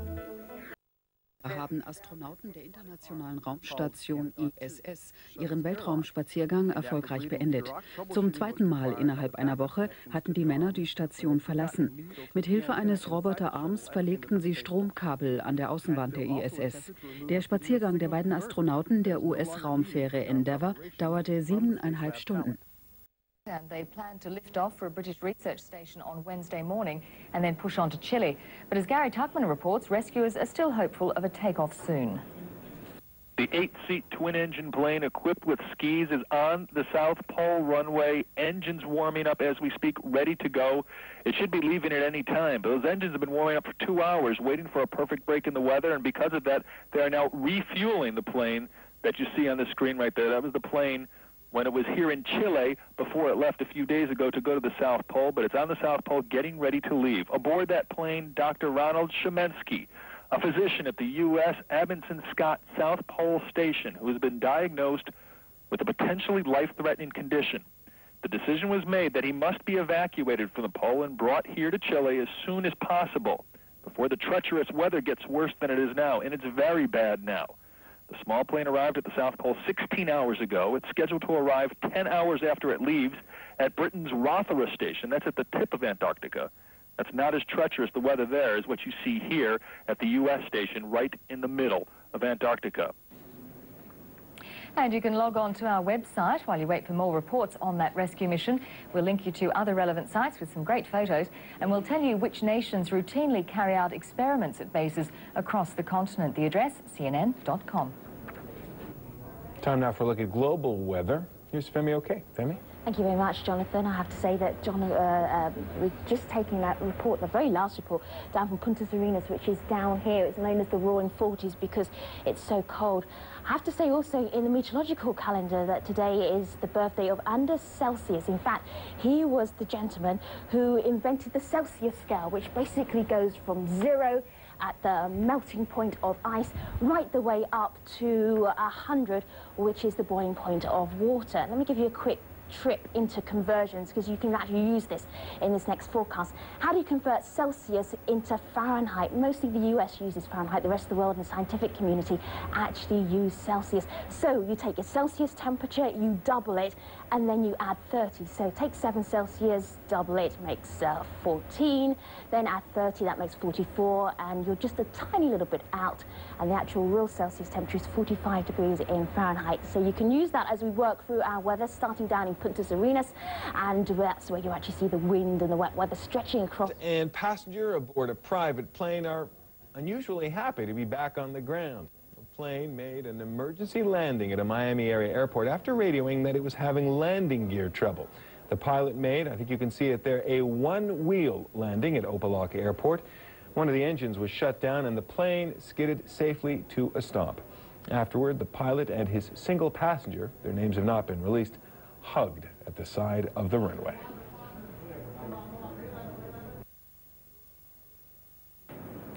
A computer glitch on board the International Space Station has delayed a test of its new robotic arm. Astronauts from the U.S. Space Shuttle Endeavour have been installing the billion-dollar Big Arm. It'll be used to construct further additions to the space station. The device was to undergo its first major test on Tuesday.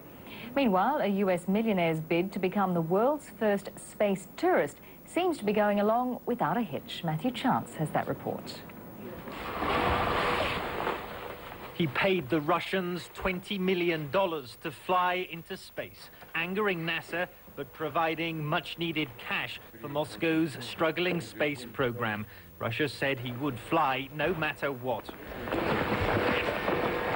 Final agreement was reached only after NASA received written guarantees that the world's first space tourist wouldn't sue in the event of injury and would pay for any sensitive equipment on board the International Space Station that he breaks. Well, if I break it, uh, I have to buy it. So um, if I break the whole station, I guess I'm going to have to buy the whole station. For months, this Californian millionaire has been at the center of a battle for control over resources on the International Space Station.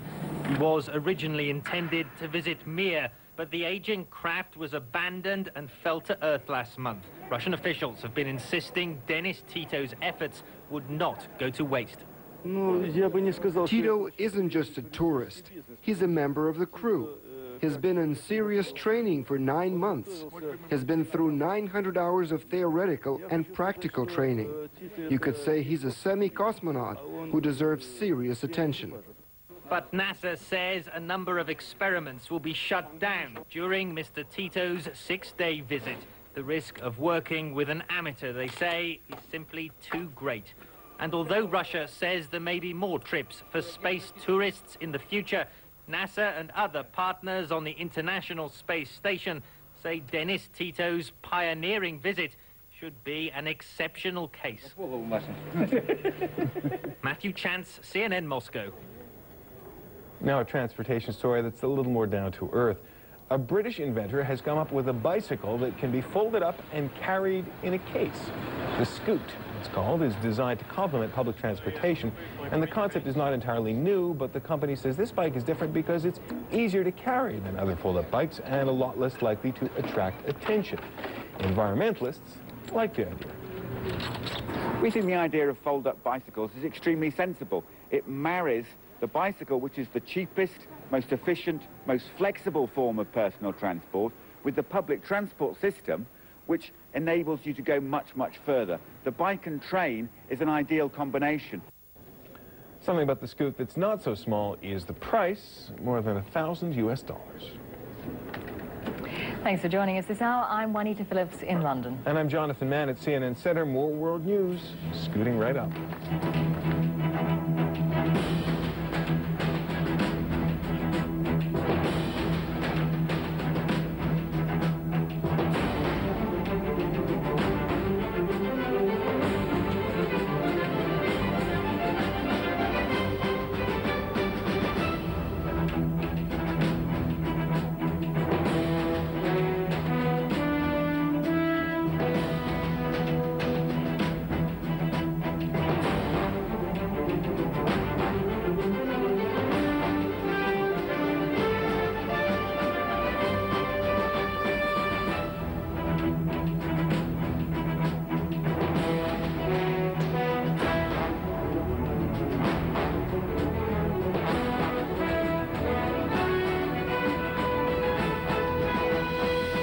Zweimotorigen Propellermaschine in der Nähe von Miami ist für den Piloten und einen weiteren Passagier glimpflich ausgegangen. Das Flugzeug befand sich im Landeanflug, als sich zwei der drei Fahrwerke nicht ausfahren ließen. Um die Maschine zu stabilisieren, schaltete der Pilot den rechten Propeller ab. Nach dem Aufsetzen rutschte das Kleinflugzeug über die Landebahn und blieb auf der Seite liegen. Die Insassen kamen mit dem Schrecken davon. Treatment after a daring rescue from the South Pole. The small plane carrying Dr. Ronald Shemenski is expected to land in about six hours at a British research station on the Antarctic Peninsula. A second plane is then expected to carry the doctor to Chile, one of the last legs of the trip. Dr. Shemenski suffers from a potentially life-threatening pancreatic condition. He's to be treated for it in the United States. Well, Dr. Shemenski leaves behind him bitter cold, days of near constant darkness and isolation. Those who work in Antarctica have to contend with one of the harshest environments known to man. But as Natalie Pawelski reports, there are job opportunities at the bottom of the world if you can handle the conditions. People who agree to work the winter in Antarctica know they can't leave for about eight months because severe cold, ferocious weather, and endless darkness make landing planes too dangerous. So before they go, they get a complete physical, based in part on NASA's medical guidelines for astronauts. But the process is not foolproof. For example, in 1999, Dr. Jerri Nielsen had a clear mammogram just before she left for the South Pole. Then she found a lump in her breast and became one of three doctors in a row who've run into medical problems during the Antarctic winter. The odds of this happening are, are just too high to calculate, and I, I really can't explain it, but it's, it's strange. It makes you think of a jinx. Prospective South Pole dwellers go through psychological screening as well, an effort to make sure they'll be able to handle the relative isolation of working at the bottom of the world. But while Antarctica is a workplace like no other, a lot of the jobs there are the kind you see listed in any newspaper. Openings for carpenters, plumbers, and office workers are among the current job listings.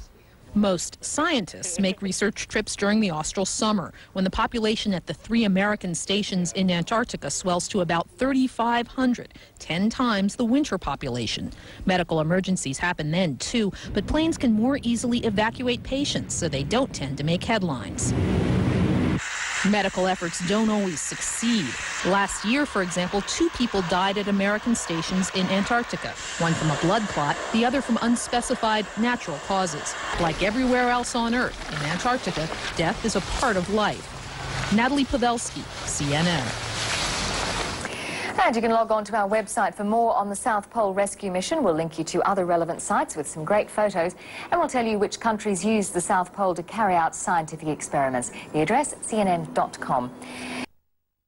Weltall. Die beiden Astronauten waren aus der US-Raumfähre Endeavour ausgestiegen, um einen siebenteiligen Roboter an der internationalen Raumstation ISS anzubringen. Der Arbeitstag im All dauerte länger als geplant, weil zunächst Probleme mit der Energiezufuhr gelöst werden mussten. Mit der Hilfe des Roboters sollen künftig Reparaturen an der Außenseite der ISS ausgeführt werden. Dadurch wird die Zahl der risikoreichen Ausstiege der Astronauten ins All verringert. It's an American doctor suffering from a life-threatening illness. Dr. Ronald Shemensky, based at the Amundsen Scott Pole Station, had been diagnosed with a serious gallbladder condition. His rescue mission has taken many days and covered thousands of miles in often terrible conditions. Well, we can speak now to Peter West from the US National Science Foundation, which oversaw the rescue. Peter West, just tell us how the rescue was actually completed. Um, well, the, the plane uh, flew in last night to Amundsen Scott South Pole Station and arrived at about 8:02 p.m. Uh, Eastern Time in the United States. Uh, the crew spent the the night on the ground. Uh, they brought in a replacement physician. That would be Dr. Betty Carlisle. Uh, she has a lot of experience in the Antarctic and recently was the uh, the summer doctor uh, at McMurdo Station, the main U.S. station in Antarctica. The plane left the South Pole at uh, 12:47 p.m. Uh, Eastern Time again today, and is en route to Rothera, which is a British Antarctic survey station on the Antarctic Peninsula, and is expected to arrive about 10:10 this evening. And how is Dr. Shemenski? Uh, my understanding, I have not had any direct communication with him, but my understanding is, as has been the case uh, largely since this this began, he uh, is recovering from his gallbladder condition and is in uh, good health and is up and around and, and able to, to fend for himself. Uh, the issue prompting the evacuation and the issue that we uh, uh, weighed when we decided to do the evacuation was that there is a statistical possibility of a relapse in his condition, uh, in which case it could be quite serious. And so looking to the health and safety both of Dr. Shemenski and of the other 49 people on the station, we decided to bring him back so that he could receive the appropriate medical care in the United States and to replace him with uh, Dr. Carlisle. But as of today, there must be an immense sense of achievement for all of you to mount such a difficult rescue in the middle of the Antarctic winter. Uh, well, it, it is a tribute to the, the skill of, of the pilots uh, and the air crew for Kenn Borek Air, uh, as well as to all the people who are doing the logistics on the ground to make sure the pilots get there, and the folks at the station who made sure that it was uh, it was uh, prepared for them to arrive. So all of those people deserve a, a hearty round of thanks. And we will be very, very happy once Dr. Shemenski is back in Punta Arenas, which is where he will uh, finally arrive before he continues on to the United States. We're going to stop you there. Peter West, congratulations. Thank you very much. Eigentlich ist der Arzt für die Gesundheit der 50 Wissenschaftler zuständig, die am Südpol in der Station Amundsen Scott arbeiten. Doch nun ist er selber lebensbedrohlich erkrankt und dringend auf Hilfe von außen angewiesen. Bislang scheiterten die Rettungsversuche an den extremen Wetterbedingungen. Im Wettlauf mit der Zeit hat sich jetzt ein Helferteam aufgemacht, um das Leben des Mediziners zu retten. Inzwischen ist das Team sicher gelandet, doch das Risiko steigt, dass nun auch die Helfer im Eis gefangen bleiben. Nicole Mascherodeno über den Überlebenskampf am Südpol. Es ist im wahrsten Sinne des Wortes das Ende der Welt. 50 Forscher leben in den kälteisolierten Containern der amerikanischen Edmondson Scott Forschungsstation. Sie haben einen Arzt und der ist schwer krank. Ronald Schiminski quält ein Gallenleiden und eine lebensgefährliche Bauchspeicheldrüsenerkrankung. Zwar hat eine Antibiotika-Behandlung, die er sich selbst in der Krankenstation verabreicht hat, angeschlagen, doch man befürchtet einen Rückfall. Und das wäre dramatisch für Schiminski, aber auch die anderen Forscher, die somit ohne medizinische Versorgung dem langen Polarwinter ausgeliefert werden. Bei Temperaturen bis zu minus 90 Grad ist es eigentlich zwischen Februar und November unmöglich, hierher zu fliegen. Zwei wagemutige Teams haben nun die gefährliche Rettungsaktion doch gewagt. Mit an Bord der zweimotorigen Twin Otter Maschinen die Ärztin, die Schiminski ersetzen soll. Ich habe schon einmal zwei Jahre am Südpol verbracht, so Dr. Kalaisley. Ich liebe den Pol. Es ist ein einzigartiger Ort, besonders die Polarnacht. Wenn auch die Umstände traurig sind, ich freue mich dennoch. Zwei Propellermaschinen, eine zum Einsatz, die andere als Sicherheit, starteten am Sonntag vom Flughafen in Puerto Arenas in Chile. Ihr erstes Ziel die britische Station Rotera im Norden der antarktischen Halbinsel. Dann das wirkliche Wagnis. Zu dieser Jahreszeit nie zuvor gelungen, der 10-Stunden-Flug bis Edmondson Scott in totaler Dunkelheit bei Wind und Temperaturen bis zu minus 60 Grad. Das Team kam am Dienstag tatsächlich unversehrt an. Nur leider hindern jetzt schlechte Wetterbedingungen den Piloten daran, mit dem erkrankten Arzt zurückzufliegen. Es scheint fast, als hinge ein Fluch über der Edmondson Scott Forschungsstation, denn die Vorgängerin des erkrankten Arztes war Dr. Jerry Nielsen, die Frau, die in der Abgeschiedenheit der Polarnacht an sich selbst Brustkrebs diagnostizierte und behandelte. Sie wurde im Oktober 1999 in einer ähnlichen Kamikaze-Aktion ausgeflogen. Roland Schiminski hat dies noch nicht geschafft. Es sieht ganz so aus, als wolle der Südpol die Menschen herausfordern, die ihm zu nahe rücken.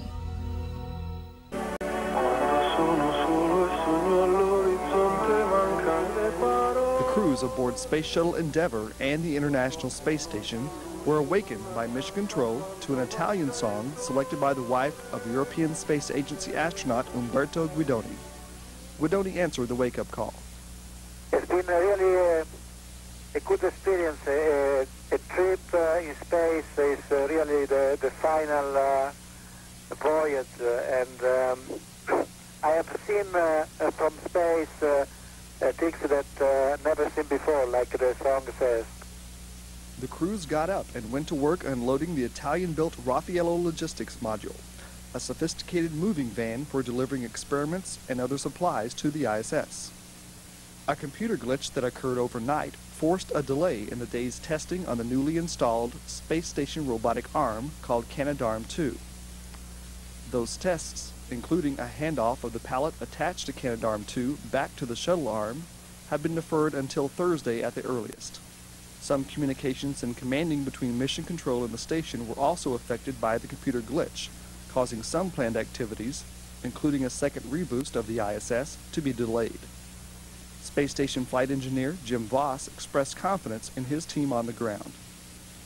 Okay, we'll work on other things while y'all are solving this problem. We know you can do it because y'all are good, and we'll be standing by ready to work when you're ready for us.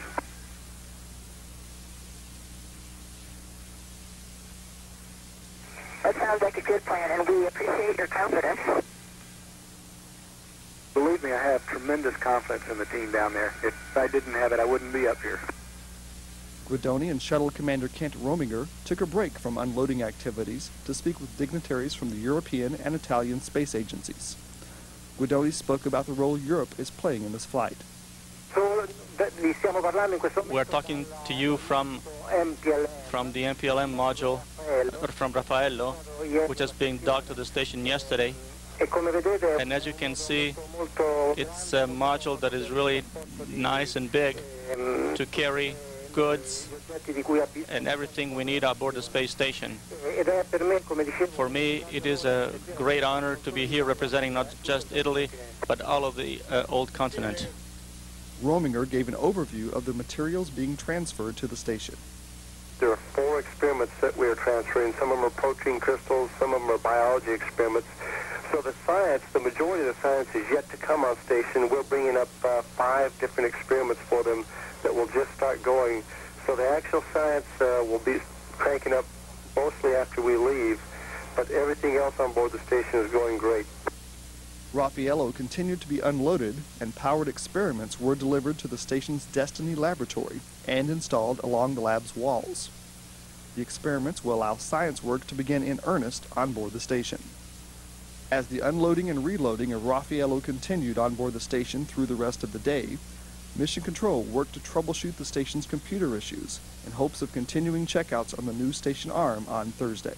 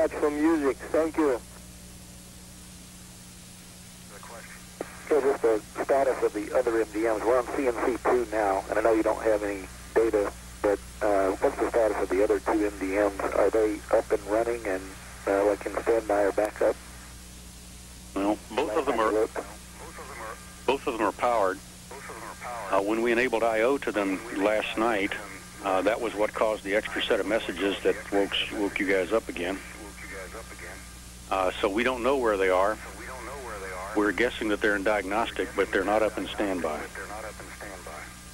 And Bob, we are connected to the MDM, and it looks like the data is good. It shows CNC1 in standby and CNC3 in backup.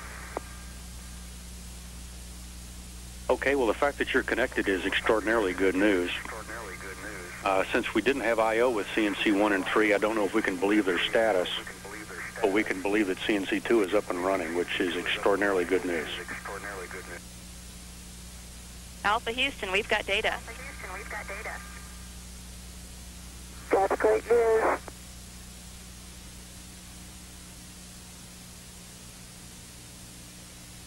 This is Mission Control. Houston, that uh, last uh, step as uh, Susan Helms on board the station continues working at her laptop, uh, going through a series of steps sent up uh, to her to uh, reconfigure the computer system on board and the communications for the station. Uh, the uh, station flight control room now has telemetry data, insight into the station systems.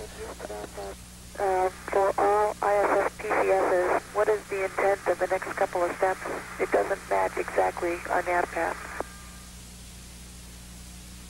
That's uh, very good news uh, for controllers as they uh, plan to now execute a series of steps to uh, safe uh, the system, uh, Uh, the computer systems and uh, commanding on board.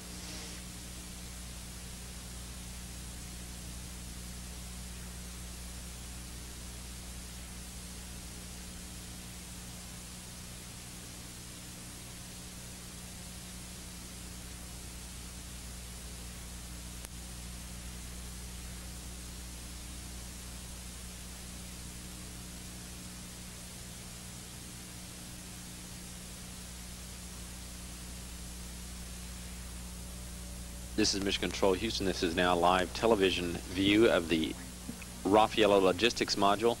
A crew uh, busily unloading and reloading that module, uh, basically uh, mostly reloading at this point, uh, preparing the module for a trip back to Earth in Endeavour's cargo bay.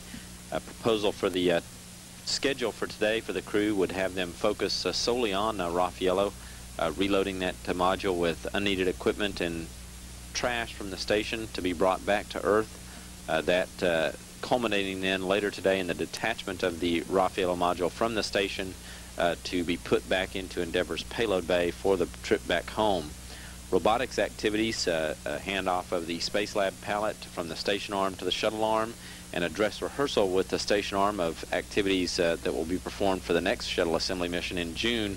All those robotics activities would be deferred until tomorrow on Friday to take place.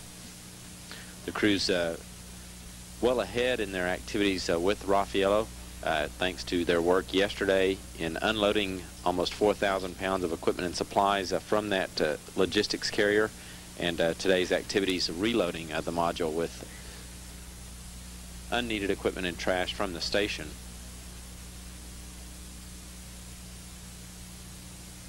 Over the next couple of hours, the crew will finish up loading this module. Uh, the master of activities uh, in that uh, loading and unloading of equipment uh, on the left-hand side of the screen is Umberto Guidoni, a European Space Agency astronaut, the first European Space Agency astronaut, uh, one of the partners in the station, to visit the orbiting complex. He's conferring with Endeavour's commander, Kent Rominger. Alpha Houston, no response required. We have KU now, and we are inside the MPLM. Rominger and uh, Guidoni looking at the camera on the right, uh, stowing items away. astronauts uh, Scott Parazynski and pilot uh, for Endeavour, Jeff Ashby.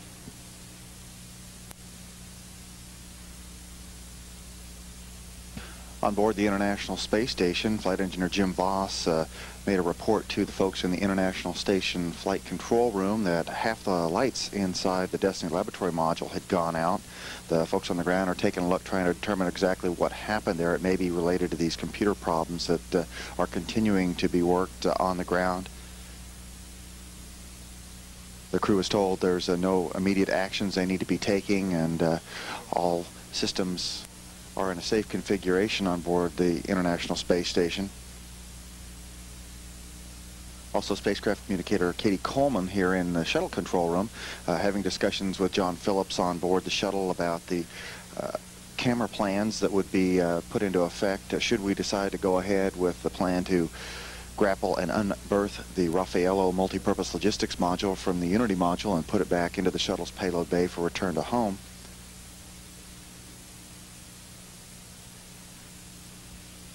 As yet, a decision has not been made on whether that activity will be attempted uh, on this day for the crew. Meanwhile, uh, the crew continues to go through its work in making sure that all of the items that uh, need to be returned to that cargo carrier are back inside and ready to be coming home.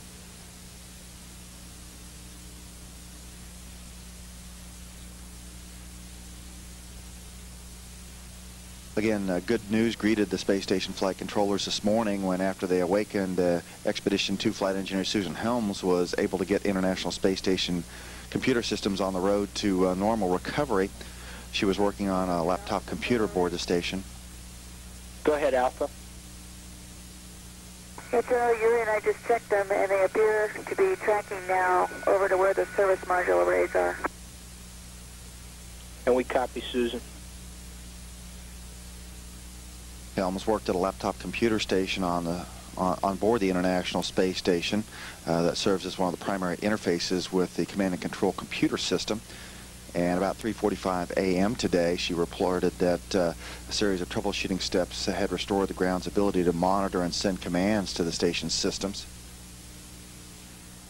Station flight controllers then sent commands that uh, have been able to put the station systems into a better configuration uh, in an event that we have further computer problems today. They also sent commands that transmitted data to the ground from the station computers that are allowing technicians to thoroughly analyze the software situation on board. In addition, uh, continuing troubleshooting has gone on. Uh, the uh, ground team has been able to power off and power on the computers aboard the Unity module making sure that both of those are working well and uh, have confirmed that that uh, is the case, uh, that a very important key to the ability to control the common berthing mechanism to which Raffaello is docked and uh, therefore release it so that it could be unberthed and returned to the payload bay of the shuttle. But the uh, flight controllers and engineers working on the computer problems on the stations hoping to get an additional uh, command and control computer back up as a redundant set so that uh, before they go ahead with that unberthing, they'd like to have as much redundancy as possible.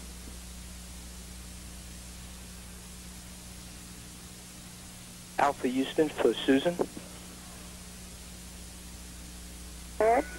Yes, Susan, you should be able to use that UOP now. You will have power to it, and we are also working on getting your lights back up, and you should then in the lab, and you should have them up momentarily. Okay, I thank you, and Mr. FPP thanks you. Thanks, and Susan. it is powered back on. Thanks, Susan.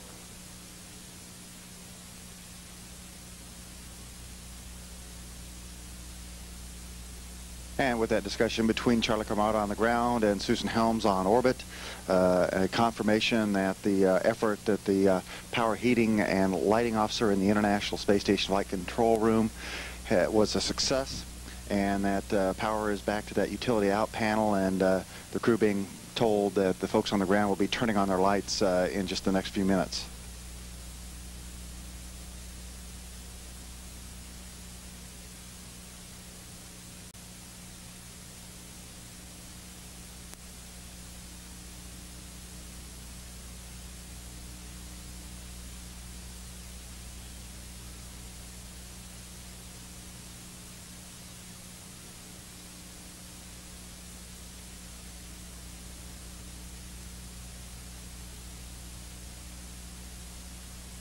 This is Mission Control Houston as the Space Shuttle and Space Station orbit 245 statute miles above the southern portion of Africa. Spacecraft communicator Charlie Carmada letting the crew on board the space station know that it appears that the multiplexer, demultiplexer computer units in the Unity module of the space station appear to have uh, gone down again. Uh, flight controllers in the International Space Station Flight Control Room continuing to uh, look at their data on that right now. Also asking uh, Jim Voss on board the station to uh, power down all but uh, two of the portable computer systems in the Destiny Laboratory module and to minimize their use as this continuing troubleshooting with the computers goes on at the ground level. Endeavour and Alpha on the big loop. I understand you're in the service module and may not be able to talk uh, back to us, so I'll just give you this update. We are standing down on MPLM uh, ops for uh, deinstall tonight and uh, we're going to look into look into our situation a little further, assess some of our failures, and get in a real good config before we decide to do that. Uh, I know that you're down there in the SM, and if you want to just give us a call when you're done with your meal, I'll tell you what else is on the plate tonight. Um, we're still looking into how far into uh, de-outfitting and closing the hatch and getting the MPLM all ready, how far into that we'd like to go tonight.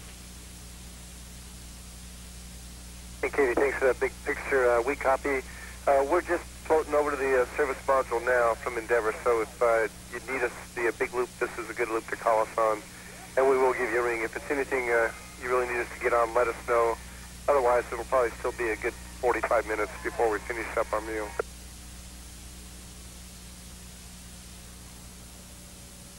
Copy. Rommel, the MMT has met, and we have extended the mission at least one more day. We do not at this time have a um, have a, a, time for you that we're going to perform the MPLM and SLP uh, handoff activities. But as soon as we know that, we'll let you know, hopefully when you get up in the morning. But if not, we think that there are lots of uh, things that you as uh, two crews together can be doing to get the uh, ISS in good shape. Yeah, Cady, we agree. Uh, we've been tagging up, and they've got a lot of tasks uh, lined out that we can help them with. They've got plenty of work to keep us employed up here.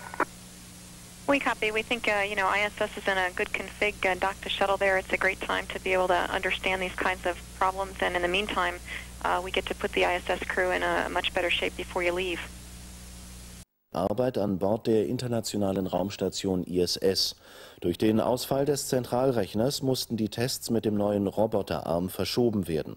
Auch der Funkverkehr mit der Bodenstation war zeitweise unterbrochen. Die NASA hofft, den Fehler in ein bis zwei Tagen zu beheben. Für die Besatzung bestehe keine Gefahr. By air from the South Pole for medical treatment is expected to arrive in Chile shortly. Chimensky was the only doctor at the Amundsen Scott South Pole station.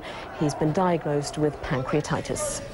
Propellers, it only has eight seats inside, and that is the plane that flew into the harshest weather on Earth right now on the South Pole. Right now, you see it has its landing tires on the bottom, but when it went to the South Pole, it had skis, literally snow skis, because it didn't land on a runway. It landed on an ice rink, basically. What they had to do at the South Pole, the 50 U.S. scientists who are there, was shovel snow to create a smooth ice pond for this plane to land on, and that's precisely what it did. It flew in a blinding snowstorm with heavy winds, but made it there safely, dropped off another doctor by the name of Betty Carlisle because Dr. Shemenski was the only doctor there. Betty Carlisle has now taken his place, picked up Dr. Shemenski, waited a couple of hours, spent the night there, everyone relaxing, waiting for the weather to clear, and then yesterday leaving there 12:45 Eastern Time to fly to the British base, the Rothera station, which is the closest base in the South Pole to South America, and then continuing here. With me right now is Steve Dunbar. Steve is with Raytheon Polar Services, the company that employs Dr. Shemenski. He was in charge of this operation, getting the doctor back here. Let me ask at this point, Steve, how relieved are you that the plane has made it safely? Oh, we're all just very excited and pleased that they made it back and that all the, the planning and hard work that everybody put in came through and we made it happen. How concerned were you about this mission? Well, I think we had we knew that there was a chance that the uh, that we might not be able to get in and swap the doctors out. Uh, the level of concern actually wasn't that high in terms of uh, the safety of the crew. We knew we were going to be able to get the airplane make the attempt and come back. We felt pretty good about that. Knowing that this was the first rescue mission in the polar winter to the South Pole, how, what made you so sure that it would be so successful? Well, we hired the best crews. We came up with a, a lot of uh, a lot of contingency planning on what we were going to do in terms of navigation, in terms of the operation of the aircraft. We double checked on what the airplane was capable of. Uh, checked with the engine manufacturer what the airplane could do, and uh, we, were, we were fairly confident that we could pull it off. Now, Dr. Shemenski works with you. What are you going to say to him in a few minutes when you go to see him? I think, uh, actually, I need to go out to the aircraft right now. You're going out right now, okay. You're going to see in a couple of minutes a man in a yellow and black jacket, and that's the gentleman we were just talking with, Steve Dunbar, the manager of field operations for Raytheon Polar Services, who is going to go talk to Dr. Shemenski when he comes off the plane just now. But Dr. Shemenski's family had said he wanted to complete his year. He was supposed to be in the South Pole for a year. It is an area of beauty, of solitude, harsh, harsh weather. The only worst weather on Earth right now would not be on Earth. It would be on the planet Mars and planets far away from the sun. There's nothing like it on Earth. These people live in temperatures that average this time of year 75 below zero Fahrenheit, 60 below zero Celsius, and with the wind chill, sometimes it gets to 143 below zero Fahrenheit, which is about 90 below zero Celsius. So it's very harsh weather. Shemenski wanted to stay there. He's 59 years old. He's from Oak Harbor, Ohio. That's his hometown, but he now lives in Colorado where Raytheon Polar Services is based. Now, as we're speaking to you, a contingent from Raytheon Polar Services is now walking out to that plane, including the gentleman we were just, just talked to, Steve Dunbar, to greet the doctor.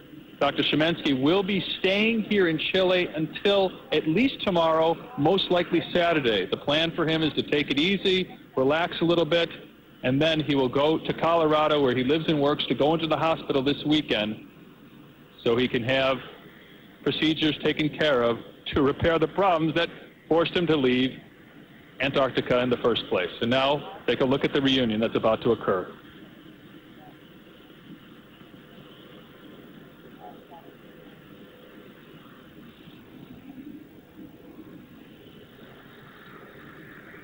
A touching scene. Heroism among the crew members. The pilot of this plane, Sean Lovett. Actually, he pronounced his name Ludit. We want to pronounce his name right. He's doing such a great job. A private charter company from Canada owns this airplane. Sean Ludit, Mark Carey were flying it. This is the company that specializes in Arctic and Antarctic flight. The thought was, you may be wondering, why use such a small plane for such a treacherous flight? You don't want to use a plane with lots of moving pieces, we're told, and whether that's this cold. With lots of landing gear, with lots of wing flaps, with potential problems with big planes in the cold weather, it's easier to use a simple and more nimble plane like the Twin Otter. And that's what this company based out of Canada uses. The decision was made to use this plane to get Dr. Shemenski to safety. But it's interesting when you hear Steve Dunbar talk about how confident he was. The fact is, in all the years that man has inhabited Antarctica and visited the science stations there, and it's been about half a century, there has never been a plane landing there during the polar winter. So there was a certain amount of risk. Although these gentlemen have told us over the past couple of days that we've been in Chile that there's a lot of redundancy, that they had two planes. You saw the blue plane behind the red plane. That blue plane that came in was another Twin Otter that was also at the British base at the Rothera station.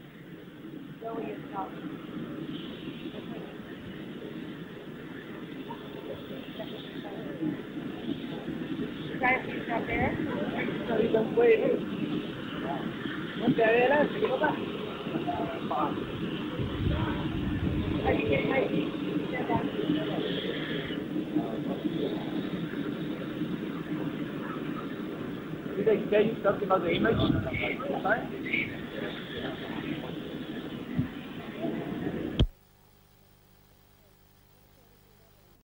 And you were just watching a live coverage of CNN's Gary Tuchman reporting on the landing of Dr. Ronald Shemenski from Antarctica in uh, Punta Arenas, Chile. Shemenski had been uh, diagnosed with pancreatitis. He is doing better, but it was decided to evacuate him from the research facility at the South Pole in case uh, that the illness got worse. The flight to uh, Chile began early Thursday, but was made under difficult and risky conditions. Takeoffs and landings were made on snow and ice. Ronald Shemenski was evacuated from Antarctica on Wednesday after the rescue plane managed a tricky takeoff and landing on ice and snow.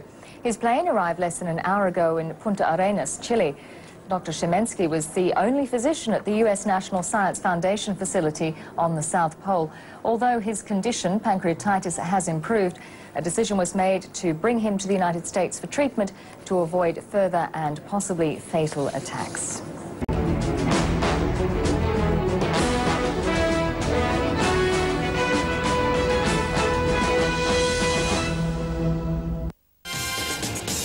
Dankeschön noch an die Kollegen für den netten Gruß. Cowboy, kleiner Sheriff, Hardliner an George Walker Bush, dem Präsidenten der Vereinigten Staaten, scheiden sich die Geister. Am Sonntag ist er jetzt 100 Tage im Amt und eins ist klar geworden, er will nicht everybody's darling sein. Die Amerikaner, denen scheint der Stil von Bush zu gefallen. Sie geben ihm überwiegend gute Noten und das nicht nur für seine Innen-, sondern auch für seine aus unserer Sicht umstrittene Außenpolitik. China, das war die erste Bewährungsprobe. George W. hat sie aus Sicht der Amerikaner bestanden. Statt Hohn kriegt der Mann mittlerweile jede Menge Respekt, auch wenn der Weg an die Macht aus unserer Sicht mehr als bizarr war. Eines hat George W. Bush schon jetzt geschafft. Er ist der erste Präsident, dem eine eigene Comedy-Show gewidmet ist. Seine peinlichen Versprecher und seine demonstrative Unlust, sich mit politischen Details zu quälen, sind ein gefundenes Fressen. Und die Lacher sind garantiert, wenn der Pseudo-Busch mit Frau Laura im Chor seufzt. Es ist viel schwerer, Präsident zu sein, als du dir vorstellen kannst. Laura, it's just that being president is harder than you can possibly imagine. In der Tat, wann immer der echte Präsident vor die Kameras tritt, halten Freund und Feind den Atem an. Zum 100-Tage-Jubiläum verspricht der Taiwan mal eben den vollen militärischen Schutz der USA und wirft damit eine jahrzehntelange Politik über den Haufen. Versprecher oder Absicht, bei Bush weiß man das nicht. Dabei hatte der außenpolitische Novize doch gerade in Sachen China viel Lob bekommen. Für das Vorgehen in der Affäre um das amerikanische Spionageflugzeug. Jetzt steckt er mit beiden Füßen im Fettnapf. Dass er bisher ohne die ganz großen Pannen über die Runden kam, verdankt der Amateur aus Texas seinem Kabinett, das überwiegend aus erfahrenen Veteranen des Kalten Krieges besteht. Der Preis eine Politik am äußersten rechten Rand. Es ist derartig konservativ. Ich glaube, das ist dann ziemlich deutlich. Aufgrund von der Benennung von gewissen Kabinettsposten. Das sieht man. Und ich glaube, was auch das oder wie das umgesetzt wird in der Politik, das müssen wir noch abwarten. Am deutlichsten wird die konservative Handschrift bisher in der Umweltpolitik. Die brüske Absage an das internationale Kyoto-Protokoll und Zugeständnisse an die Großindustrie haben Europäer und Umweltverbände im eigenen Land auf die Barrikaden gebracht. Erstaunlich zielstrebig hat der Präsident gegenüber dem Kongress die versprochenen Steuersenkungen in Billionenhöhe angepackt. Hier wirkt seine erfolgreichste Waffe. Der freundliche Mann an der Spitze wird ständig unterschätzt, während die mächtigen Strippenzieher im Hintergrund die Mehrheiten für die Wende nach rechts organisieren. Now, ladies and gentlemen, you have to admit, In my sentences, I go where no man has gone before. But the way I see it is I am a boon to the English language. I've coined new words like misunderestimate and Hispanically. I've expanded the definition of words themselves, using vulcanize when I meant polarize, Grecians when I met Greeks, inebriating when I met exhilarating. And instead of barriers and tariffs, I said terriers and bariffs.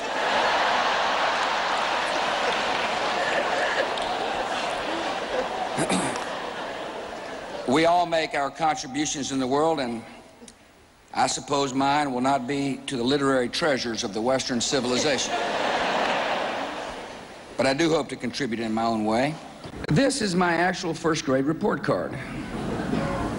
Up top it says, George W. Bush. and then notice the final grades on the right.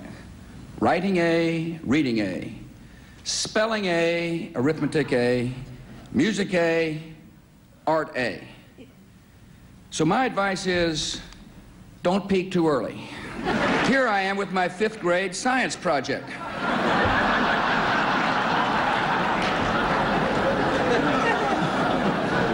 Built it myself. And it's still meeting our energy needs. If the vote recount left any hard feelings between my brother Jeb and me, not a bit. In fact, here's a picture of the governor of Florida. After graduation, I joined the Texas Air National Guard. I'm the one who committed the state of Texas to defend Taiwan from attack. Dad, Neil, Doro, Marvin, and Jeb. In my family, with all those kids in the tub, it's not arsenic in the water I'd be worried about. And now Martin Jeans will show us some pictures some weather pictures, that is. right, Martin? Hi, Octavia. In fact, yes, we're going to start in the United States, and we have the satellite to show you. And I think, I did mention 24 hours ago, I thought we were going to see some rain in southern Florida, and it's going to come true, I think, because we can already see the clouds moving into that region, and I think certainly by Sunday evening, there we are, there's all the blues, we will see some rain into that region that really needs the rain so badly, Florida, as that drought continues there. Elsewhere across the U.S., as we head through the midweekend, we'll see fine, warm conditions across the south, and indeed fine conditions in the Midwest and the Northeast, if not a touch cool we will watch this cold front as it begins to move across the country into Monday because it could spark up a few thunderstorms, particularly, I think, across the northern plains. We'll see some more showers out there in the northwest, the Pacific Northwest, and snow over the higher elevations. California looking for dry conditions and some pleasant temperatures as well. LA looking at 24. Ja, aber Vorsicht, ne? nicht, dass ich nachher auf dem Melmac ja, ja, lande oder sowas. nichts. Hauptsache, Ziel bitte genau. Hauptsache, du bist weg. Jetzt hör mal auf zu sappeln. Es geht los. Oh, da hat Pamela aber diesmal gut gezielt. Genau das ist sie, die Raumstation Mir. Und dort drinnen warten schon zwei ganz besondere Gäste auf uns. Kommt mal mit. Und zwar sind das zwei echte Astronauten, die auf der Mir waren. Hier sind Sergei Avdeyev aus Russland und Reinhold Ewald aus Deutschland. Hallo, herzlich willkommen bei uns. Hallo Dennis. Sergei, du bist Rekordhalter. Über 700 Tage warst du oben im All. Wann war das genau? Das war in den Jahren 1992, 95 und 98. Insgesamt war ich 748 Tage im All. Das heißt zwei Jahre und zwei Wochen. Und Reinhold, wie lange warst du oben in der Mir? Ich war nicht so lange da, nur 21 Tage im Jahre 1997 mit vier Russen zusammen und einem Amerikaner. Und wie das damals in der Mir angefangen hat, das zeigen wir euch jetzt mal. Die Mir-Raumstation ist ja seit 1986 im All zusammengebaut worden. Das heißt, alle Einzelteile sind ineinander gesteckt worden, so wie man Lego-Bausteine zusammensteckt. Die großen Module sind nach und nach dazugekommen und schließlich hatte sie eine Größe, naja, wenn man sie in ein Hallenbad, in ein geräumiges Hallenbad packt, da hätte sie reingepasst. In, innen drin ist natürlich äh, vieles an den Wänden befestigt, was sonst wegfliegen würde. Ähm, sehr verwirrend erstmal, wenn man als Neuling da reinkommt, man muss sich dann umschauen. Im Jahr 1995 haben wir zusammen mit Thomas Reiter im Weltall, im offenen All gearbeitet, um kosmischen Staub von den vorbeifliegenden Kometen einzufangen und zu sammeln. Weiter zeigen die Bilder, wie Thomas Reiter mit dem Sammelapparat arbeitet. Die Experimente im Inneren, die befassen sich damit, wie denn der menschliche Körper auf die Schwerelosigkeit reagiert. Man muss sich dazu Blut abnehmen, viele äh, Daten erheben, um diese Reaktion festzuhalten. Haare schneiden im All mit dem Staubsauger. Und auch das Salto-Schlagen, das will erst gelernt sein. Nach ein paar Tagen im All geht das aber schon ganz gut. Das Essen wird in Paketen hier hochgebracht und oben an Bord warm gemacht. Es fliegt wie im Schlaraffenland einem in den Mund. Es ist so schön, sich zu duschen oder in die Sauna zu gehen. Sonst wird die Hygiene eigentlich eher klein geschrieben. Es gibt kein fließendes Wasser. Der Schlafsack wird irgendwo festgebunden und dann für die Nacht schläft man, ohne wegzuschweben. Essen haben wir ja eben im Film gesehen. Ihr habt auch ein bisschen was mitgebracht. Sergej, was stand auf eurem Speiseplan denn drauf? Es gibt verschiedene Lebensmittel an Bord. Meistens ist das trockenes Pulver ohne Wasser. Zum Zubereiten muss man die Tüte aufschneiden und mit Wasser auffüllen. Es gibt auch Konserven an Bord. Äh, hier zum Beispiel eine Fischkonserve, uh, halte mal gerade, Konserve, die also äh, warm gemacht werden hier im Ofen oder Tuben. Und die Tuben, die im All waren, die erkennt man daran, der Deckel ist angebunden, damit er nicht in der Schwerelosigkeit wegfliegt. Ja. Sergej, du warst ja jetzt am längsten da oben. Was meinst du, wie lange kann man es da maximal aushalten und vor allem, was macht man danach? Also mein längster Aufenthalt im All war ein Jahr und zwei Wochen. Es gab Kosmonauten, die noch länger dort waren, aber man muss wissen, dass man nach dem Flug unbedingt Zeit braucht, um wieder fit zu werden. Genauso lange, wie man im All war. Und Reinhard, was habt ihr jetzt da oben gelernt in dem Mir? Zuerst mal muss man lernen, in einer Mannschaft zusammenzuarbeiten, auch über verschiedene Sprachen natürlich äh, sich zu verständigen. Dann muss man lernen, mit dem Bodenkontrollzentrum, also mit der Erde, auch in guter Zusammenarbeit zu sein, denn die geben die entscheidenden Tipps. Und wenn das mal nicht möglich ist, keine Radioverbindung, auch schnell zu reagieren. Mhm. Da gab es nämlich mal einen Zwischenfall bei dir mit so einem Teil hier. Ja, das ist eine Sauerstoffpatrone, die entwickelt also Sauerstoff, äh, den wir atmen. Und diese Patrone ist uns explodiert, die wird in einem solchen Generator hier zum Laufen gebracht. Wir hatten dann äh, das Feuer zu löschen, wir waren in Gasmasken und warteten anderthalb, zwei Stunden, äh, bis die Luft wieder reine war, bis wir den Qualm und den Rauch von diesem Feuer aus der Station wieder raus hatten. Ist Gott sei Dank gut gegangen. Was macht ihr jetzt da oben, wenn euch mal so richtig langweilig ist? Man kann ja nicht vor die Tür gehen. Nee, allerdings nicht. Also es gibt Kassetten an Bord, Musikkassetten. Es gibt äh, auch Filme, Videofilme, die die Kosmonauten sich bei langen Flügen anschauen. Die haben auch Bücher dabei. Die Erde ist natürlich auch immer wieder schön anzuschauen, aber man muss sich auch vorher darauf vorbereiten, das wird ein langer Flug. Ja, und dann ging es ja leider mit der Mir zu Ende und das wollen wir euch natürlich auch zeigen. Das sah so aus. Das ist das Zentrum für die Astronautenflüge. Beim Eintritt der Raumstation Mir in die Atmosphäre war ich in der Nähe.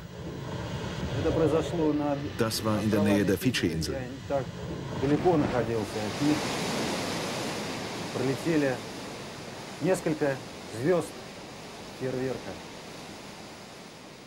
Was hast du dabei empfunden, als dein altes Zuhause jetzt im Meer versenkt wurde? Es war traurig, die Station, in der ich zwei Jahre gelebt habe, so untergehen zu sehen. Und du, Reinhold?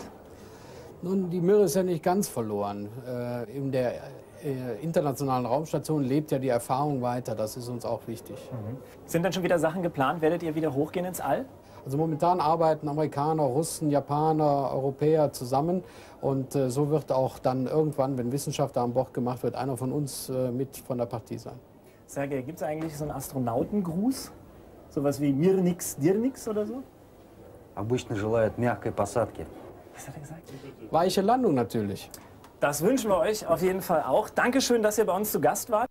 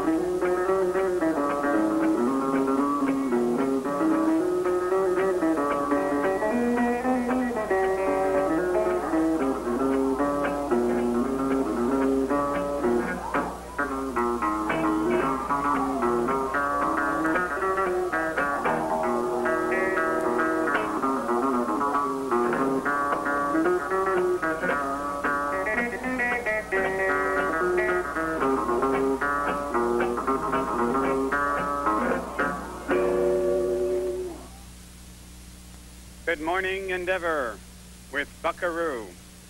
The fancy guitar picking is by Don Cain from Dubuque, Iowa, senior to our famous Ascent flight director, Leroy Cain. And appropriately, this is dedicated to all the flight controllers on both teams who have been picking at the CNC MDM for the last couple of days.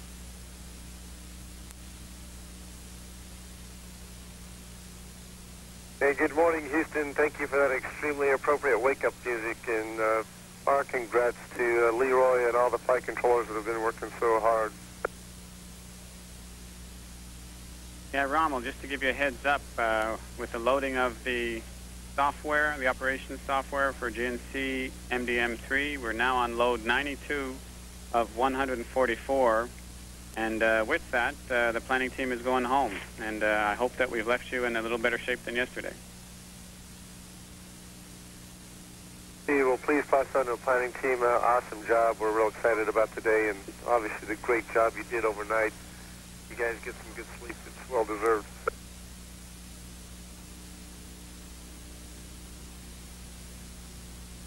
Endeavour Houston, um, we're going to go outside with the cameras now and start setting up the camera views for reboost while we have KU. If we run out of time on the ground, we'll let you know and, and uh, give you a heads up so that you can complete the camera setup. That's great, Houston. Appreciate it.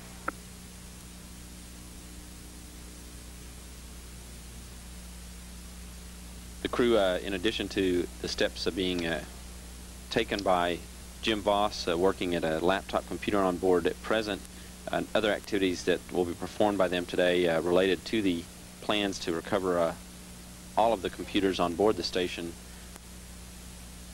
One other activity will be a swap of computers, swapping a backup payload computer with one of the station's command and control computers. Uh, that uh, one command and control computer uh, is thought to have a failed hard drive, essentially, uh, that uh, a swap with a backup payload computer, which isn't being used on board the station at present, uh, would correct. Of the station's three command and control computers, one is functioning well, again uh, synchronizing with uh, most of the station's uh, secondary computer systems. that one step in progress now to also synchronize the guidance, navigation, and control computer for the station with that primary command and control computer. Again, that's functioning well. The other two command and control computers are offline.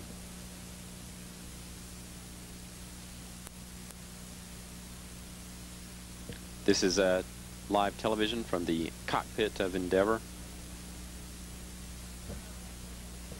astronaut uh, Scott Parazynski and uh, John Phillips uh, just moving out of view in the background, pilot Jeff Ashby, and uh, in the commander's seat on the left-hand side of the cockpit, Commander Kent Rominger, preparing to start a reboost. Again, uh, about an hour-long firing of the shuttle steering jets that will increase the altitude of the station by about two and a half statute miles. Houston Alpha on the big loop. We have completed the MPLM deactivation and uh, the GMT we disabled the, we empowered the ETS was uh, 117, 10 hours, 58 minutes, 49 seconds. We. Managers uh, for the Space Shuttle program and Space Station program decided yesterday to extend Endeavour's mission by one day. Uh, that will have the shuttle remain docked to the station until Sunday with a landing on Tuesday. Uh, further extension of the mission also may be considered.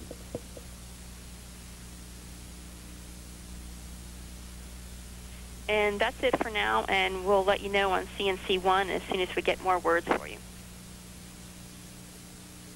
Okay, thanks a lot for the update. We appreciate y'all doing that extra work to give us a big picture heads up. It uh, was good for us to have the situational awareness. Thanks.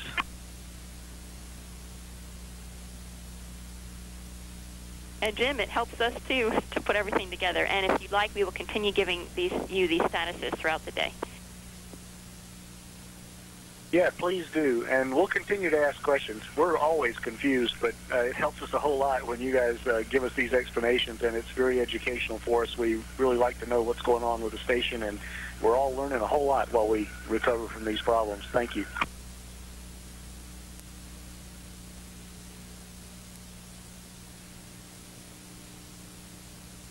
Uh, all activities are uh, approaching uh, the detachment of Raffaello from the station this afternoon.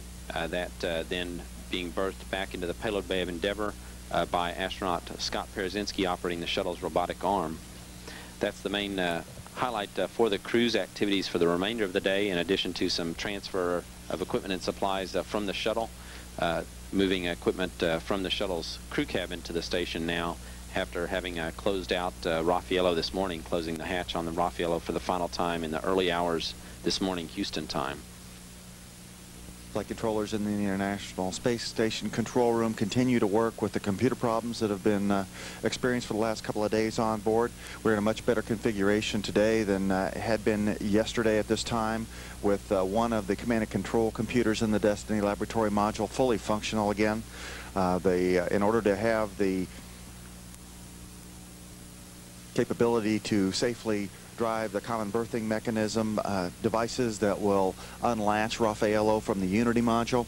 Uh, the flight controllers would like to have a backup system available and they have moved an early portable computer system uh, to the space right next to the common berthing mechanism in the Unity module so that it's quickly available should there become any problems with the command and control computer that will be controlling the uh, driving of the 16 powered bolts that are used to separate or lock together the Raffaello multipurpose logistics module and the Unity module.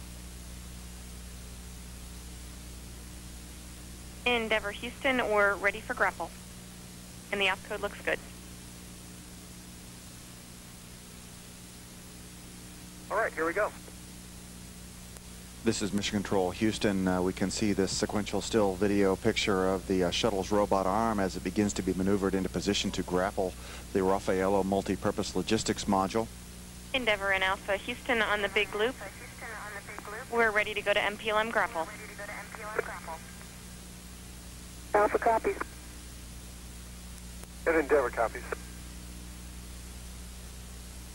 This is Mission Control Houston. We're now getting downlink television pictures as the Space Shuttle's robotic arm uh, inches its way toward the grapple fixture on the Raffaello multi-purpose logistics module.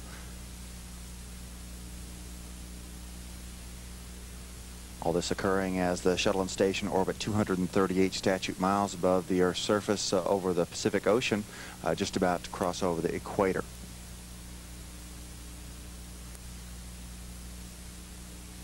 And now we're receiving a close-up view from the wrist camera on the shuttle's robotic arm as the end effector nears the grapple fixture on the Raffaello module.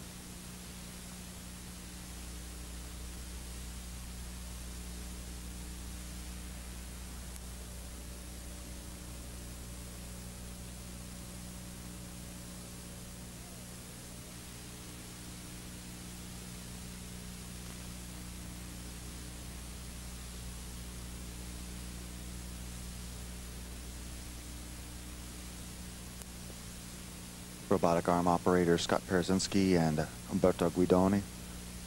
Now moving the shuttle's robotic arm in closer to the grapple fixture on the Raffaello module.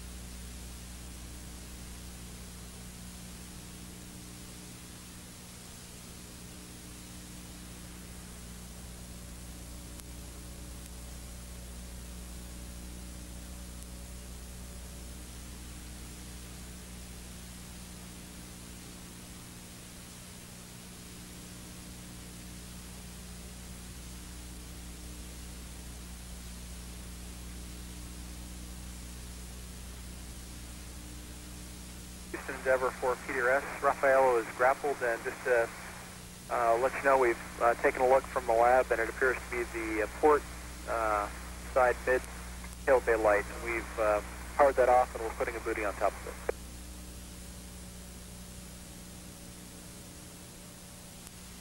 Nice work, Scott. Good grapple. And thanks for the words on the lights. Sorry for the interruption.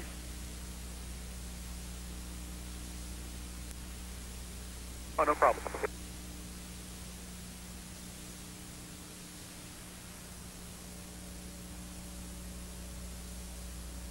Alpha Houston on the big loop. Got your loud and clear, Susan. Okay, I have the procedure. I'm looking through it. Okay, uh, copy that. After you've had a chance to look through it a little, little bit, I had a few points of clarification. Uh, I'll let you get a chance to uh, to get familiar with it first. Okay.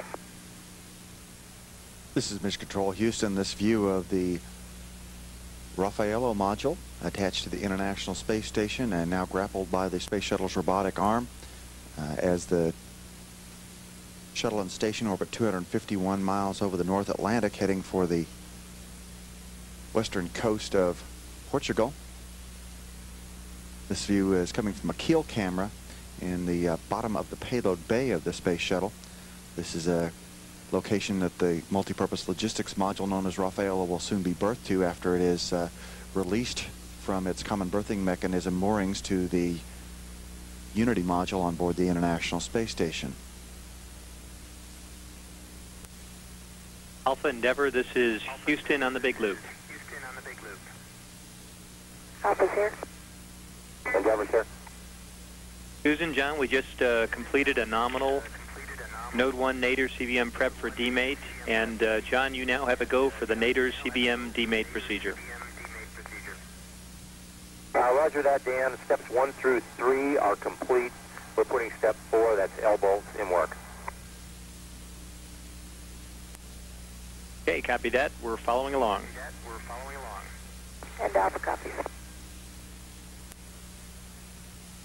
This is Mission Control Houston. With that, uh, Mission Specialist John Phillips on board the International Space Station, the Space Shuttle Endeavour, given the go-ahead to begin driving the powered bolts that will begin disconnecting the Raffaello module from the International Space Station's Unity module.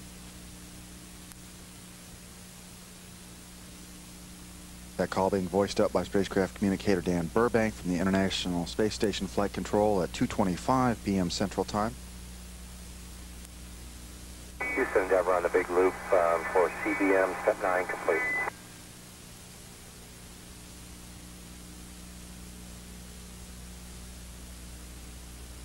Okay, John, we copy that. Thanks for the update.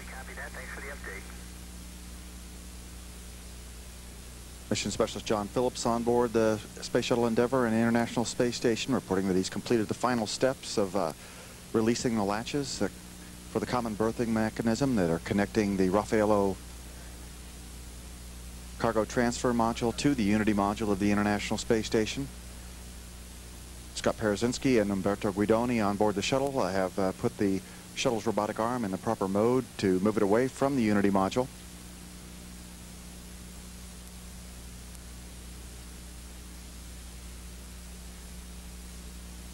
This is Mission Control Houston. The Payload Deployment and Retrieval Systems Officer reports the arm is in motion. Scott Parazynski with help from Umberto Guidoni. Now moving Raffaello away from the Unity module of the International Space Station. This is Mission Control Houston. The Payload Deployment Retrieval System Officer reports that the Raffaello module is now in what is known as the pre-install position.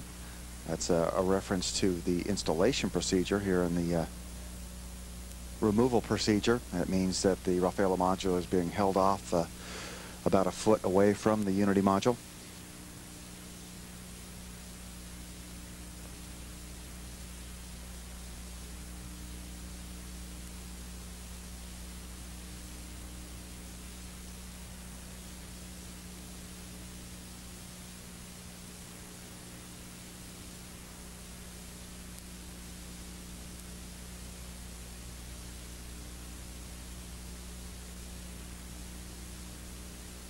This is Mission Control Houston as the Space Shuttle Endeavour and the International Space Station move into darkness over the Sahara Desert.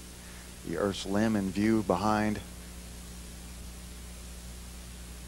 the widening gap between the Raffaello Multipurpose Logistics Module and the Unity Module's Common Berthing Mechanism hatch. This is Mission Control Houston as we take a look at the Raffaello Multipurpose Logistics Module from a different keel camera location. The Payload Deployment Retrieval Systems Officer reports that the uh, Raffaello module is now in the low hover position, being uh, held steady over the payload bay before being reberthed to its payload retention latches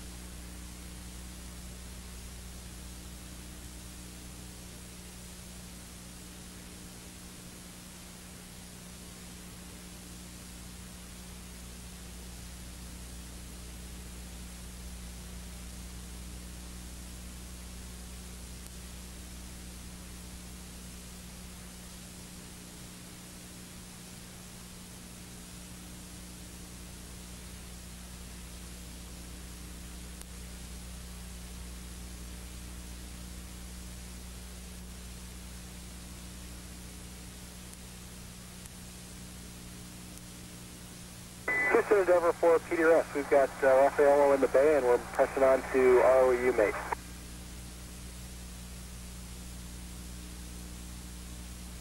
We copy and concur. Raffaello in the bay, and moving on to ROU mate.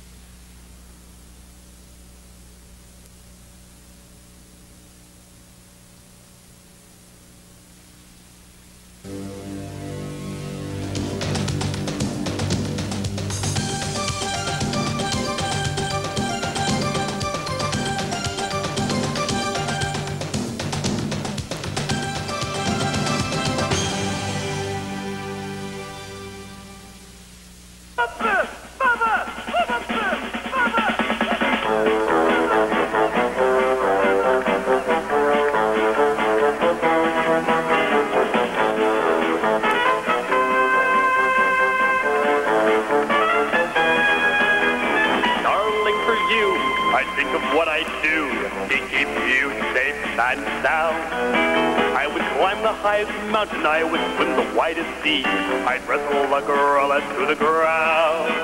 I would fend off a dozen charging rhinos. I would capture a swarm of killer bees. I would fight a fiery dragon with a wooden sword if I didn't know what it would do to me. Cause it's too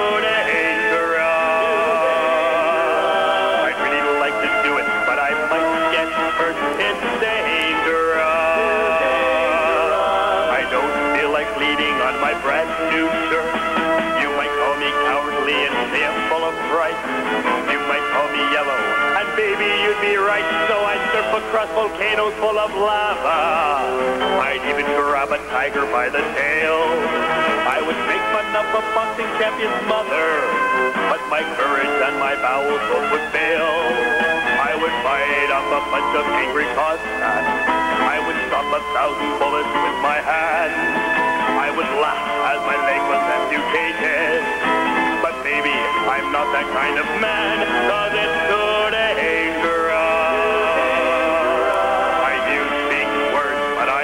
do the deed. It's dangerous. Good morning, Endeavor. Dangerous by Setchis, chosen by Elena. And Chris, I guess the title refers to your job, but I really think it means that we have the greatest job. Have a great flight day 10. Hey, good morning, Steve. yeah, we're having a good time up here. The arrogant worm has let away wake up. We're looking forward to this flight day and getting the uh, spaceflight pallet handed off. Yeah, it's that time of day again where you guys are just starting a great day and uh, we're finishing a tough one. So we're handing you over to Ellen and uh, Phil, and the next voice you will hear will be Ellen.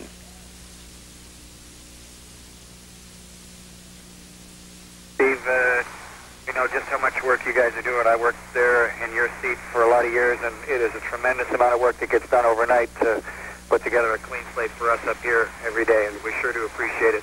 Thanks a lot for the evening's work, and uh, we'll look forward to talking to you again tomorrow morning. And thanks for the wake-up music. You're welcome, and uh, I wish you the best with those CNC MDMs. For the big picture, uh, we still do not have CNC1 and CNC3. We've been uh, trying to load CNC3 several times unsuccessfully.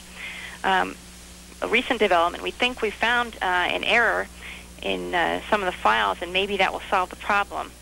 But um, on the side, we are also discussing the possibility of beginning robotic operations without getting another CNC.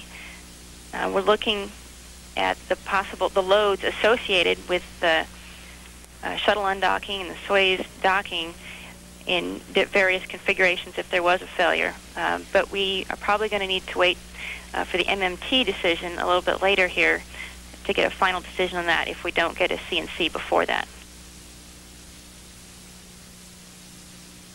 So we can expect to not start our robotics operations until after the MMT makes the decision, Lisa? Unless we get a CNC before then, that is correct. As uh, was reported to the crew uh, this morning, uh, the Soyuz launched uh, successfully. Uh, that uh, without problems, the Soyuz spacecraft are now in orbit. That a replacement for the emergency crew return vehicle Soyuz that is currently attached to the aft end of the station's Zvezda module. This is a view now, live television view of the shuttle's robotic arm as uh, the arm is maneuvered into position for a calibration of the space vision system.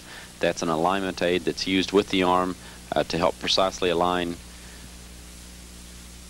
large modules as they're attached to the station. The uh, space vision system uses the uh, dots seen in this view on the exterior of the uh, mating adapter and destiny module that can be seen. Uses uh, similar dots that will be on an airlock module, an airlock that is to be attached to the station on the next flight, next shuttle flight bound for the complex, that to launch in June. This uh, calibration of the vision system underway at present on board uh, will involve both uh, the space vision system on the shuttle and a counterpart system on the station, uh, gathering data, uh, information that will be useful in preparations and for that uh, next shuttle flight. Again, uh, planned for launch in June and the attachment of an airlock that's planned during that flight. And Alpha Houston with an update on the C and C status. We are doing the reload for CNC3 now.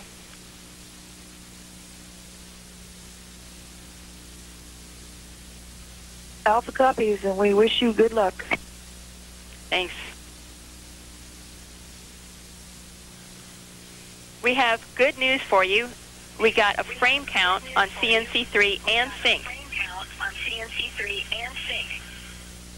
Well, that sounds good. We think so.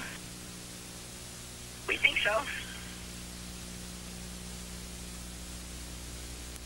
Now, for the rest of the world, other than all of the computer folks, is that like real good? Like, is that the final step that it's showing that it is working properly?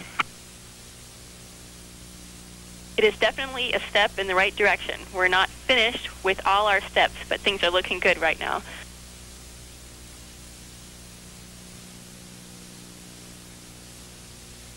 Alpha Houston on the big loop for CNC status. Very good news. CNC3 is successfully in backup. CNC2 is in primary. We're still having uh, the MSD inaccessible problem, but we're working on that right now. Houston Alpha copies. Nice work down there. Thanks. We'll see if we can keep them operating. Thanks. We'll see if we can keep them operating. That call to uh, the Expedition 2 crew on the station that uh, there are now two good computer systems on board the station, a primary computer system and a backup computer system. Although uh, just about uh, 45 minutes ago, just as uh, the activities with the backup computer to bring it online were uh, reaching a conclusion, a load of software in that computer completing and the control team going through the steps to bring that one online, the primary computer did have an error message uh, that indicated a problem in accessing its uh, memory storage device. Uh, essentially, it's a hard drive. Um, that, uh, however, message is still being evaluated by the ground as to uh, just uh, what its implications are. So that message still not understood by flight controllers and an evaluation of that message ongoing. The primary computer, though, continues to function well in controlling the station's systems and communicating with the ground with no problems seen. Alpha Houston for Susan. Okay, uh, we're about a half an hour away, I think, right now from beginning. And uh, based on uh, the necessity to get the robotics operations done, the crew conference is going to be deferred, um, probably till tomorrow morning. We'll have more words on that a little bit later. Regarding the robotics ops, uh, right now we still do not have the MSD back on CNC2. We have some concerns about that. And uh, we may be in a position here shortly. We'll have some more words, some specifics but in pressing ahead with robotics ops without the MSD. And that's got some implications because PCS commanding for you won't be an option. We'll be covering all those steps here on the ground. It'll require a lot more coordination between us, but uh, we think that's probably where we're headed right now. More words to follow.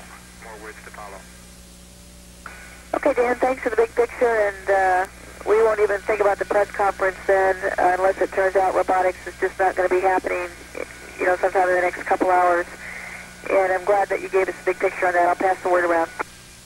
Okay, that's great. And again, we'll give you the details here shortly. We're still sorting those out. Okay.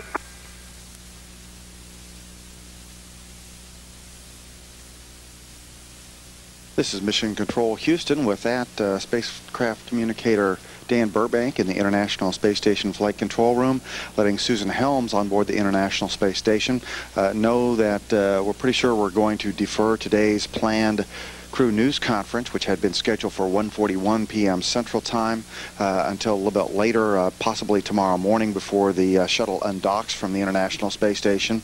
Uh, because we're about one half an hour away, he thinks, from beginning these Spacelab pallet handoff maneuvers with the two robotic arms. Meanwhile, on the International Space Station side, uh, flight engineers Susan Helms and Jim Voss standing by to operate the station's robotic arm, the newly delivered arm named Canadarm2.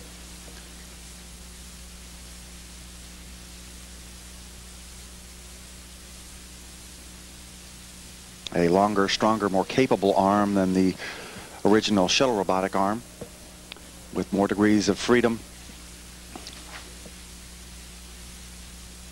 and the unique ability to walk around the International Space Station using its uh, two hands or latching end effectors. The Spacelab pallet carried Canadarm2 into orbit aboard the Space Shuttle's cargo bay and was used as the initial installation tool to set it up on the side of the Destiny Laboratory module. After the uh, shuttle robotic arm made its successful walk-off and grappled another power and data grapple fixture on the other side of the Destiny Laboratory module. The Spacelab pallet was removed from its lab cradle assembly and has since been holding the Spacelab pallet away from the space station exterior.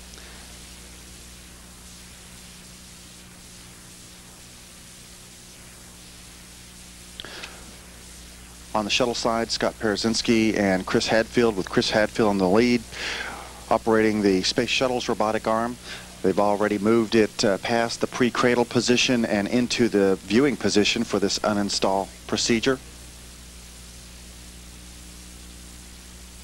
The next step will be to maneuver the space station Canadarm2 robotic arm to the handoff position. This is Mission Control Houston as we continue to receive downlink pictures from on board the Space Shuttle Endeavour's cameras looking up at the Canadarm2 as it grips the Spacelab pallet. The robotics officer in the International Space Station Flight Control Room reports he is go to begin single joint operations, moving each joint of the Canadarm2 independently to put the Spacelab pallet into the proper position for grapple by the shuttle robotic arm. This is Mission Control Houston with uh, Jim Voss now ready to begin driving the Canadarm2 for the first time. The robotics officer confirms the arm is in motion at 3.01 p.m. Central Time. The shuttle and station orbiting 240 statute miles over the, just to the northeast of Australia. Houston, we're seeing correct motion up here physically. Copy, and uh, we see good numbers on the ground. Copy, and uh, we see good numbers on the ground. As we do up here.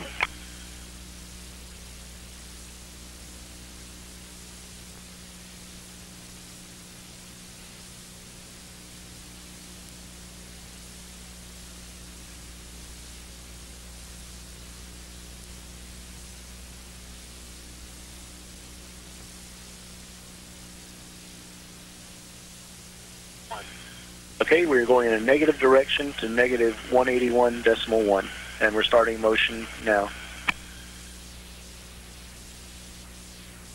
Jim Voss keeping very close control, uh, coordination with the International Space Station Flight Control team on the ground as they continue to move the space station's robotic arm, which is holding a Spacelab pallet, into the position where it can be grappled by the Space Shuttle robotic arm.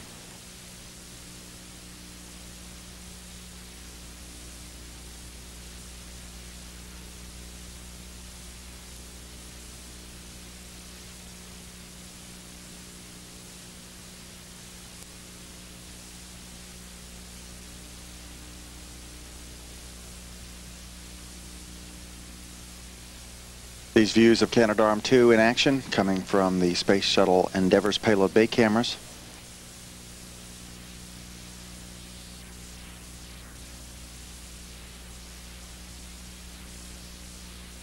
Flight engineers Jim Voss and Susan Helms working together with the International Space Station flight controllers on the ground to coordinate the movements of the robotic arm. Dan, the SLP is coming to you from the back side of the lab from our camera B view, and it's looking good. Jim, we copy that. It looks great to us, too. Uh, we're about a minute and a half out from a handover. Okay, we copy that. You want us to continue this move? Yes, please. We'd like you to go ahead and complete this uh, particular maneuver. Uh, we don't anticipate it'll be a long uh, handover. Okay, we'll continue this and we'll stop at minus 181.1 and make sure we've got calm before we go on. Can we see wrist roll selected. You have a go to maneuver wrist uh, roll to positive 76. Okay, we're going in a negative direction to a plus 76 in wrist roll. And we're initiating motion now. We concur.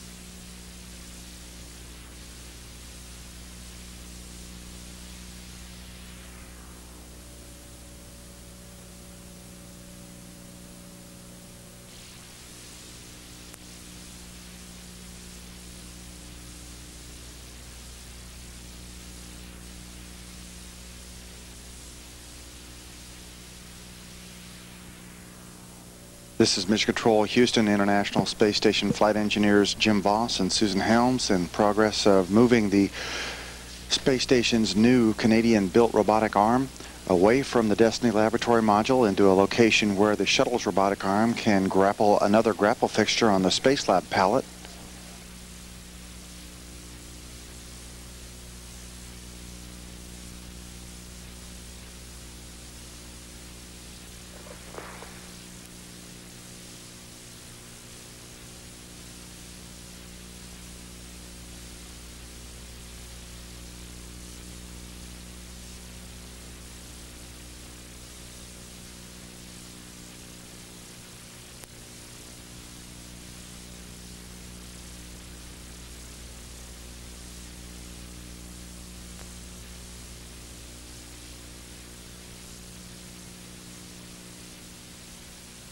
Endeavour Alpha Houston, we see a good group pre-grapple position.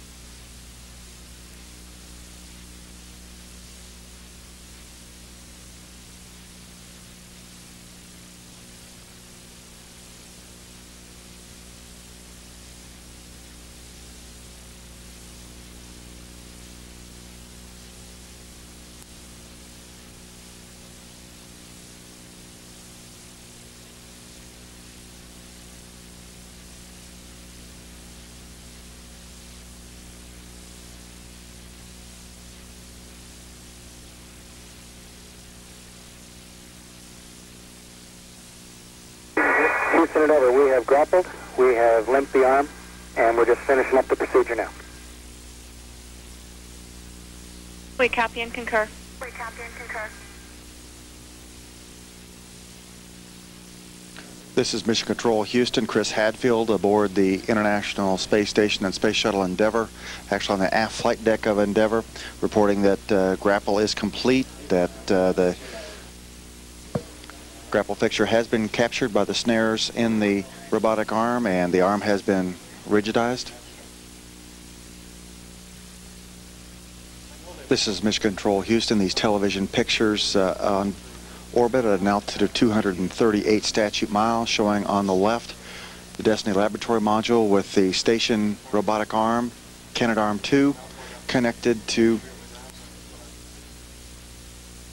its power and data grapple fixture, and on the right, just passing out of this picture, the shuttle Canadian-built robot arm. Mark. Copy.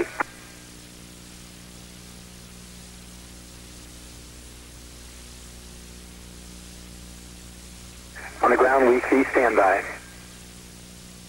Copy. And uh, pitch plane, we're ready.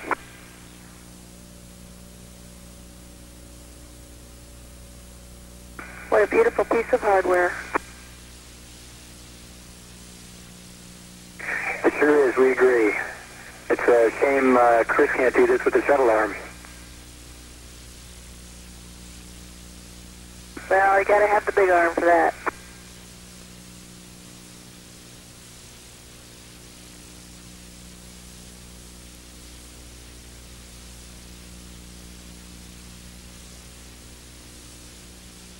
This is Mission Control Houston. Uh, Flight Engineer Susan Helms on the International Space Station uh, moving the space station robotic arm, Canadarm2, uh, away from its uh,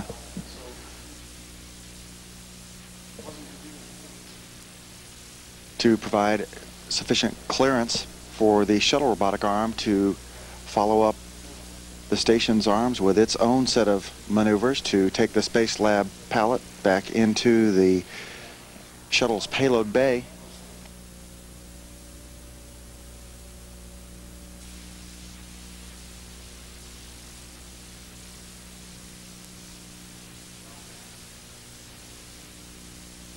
Canadian astronaut who is uh, now slowly moving the Spacelab pallet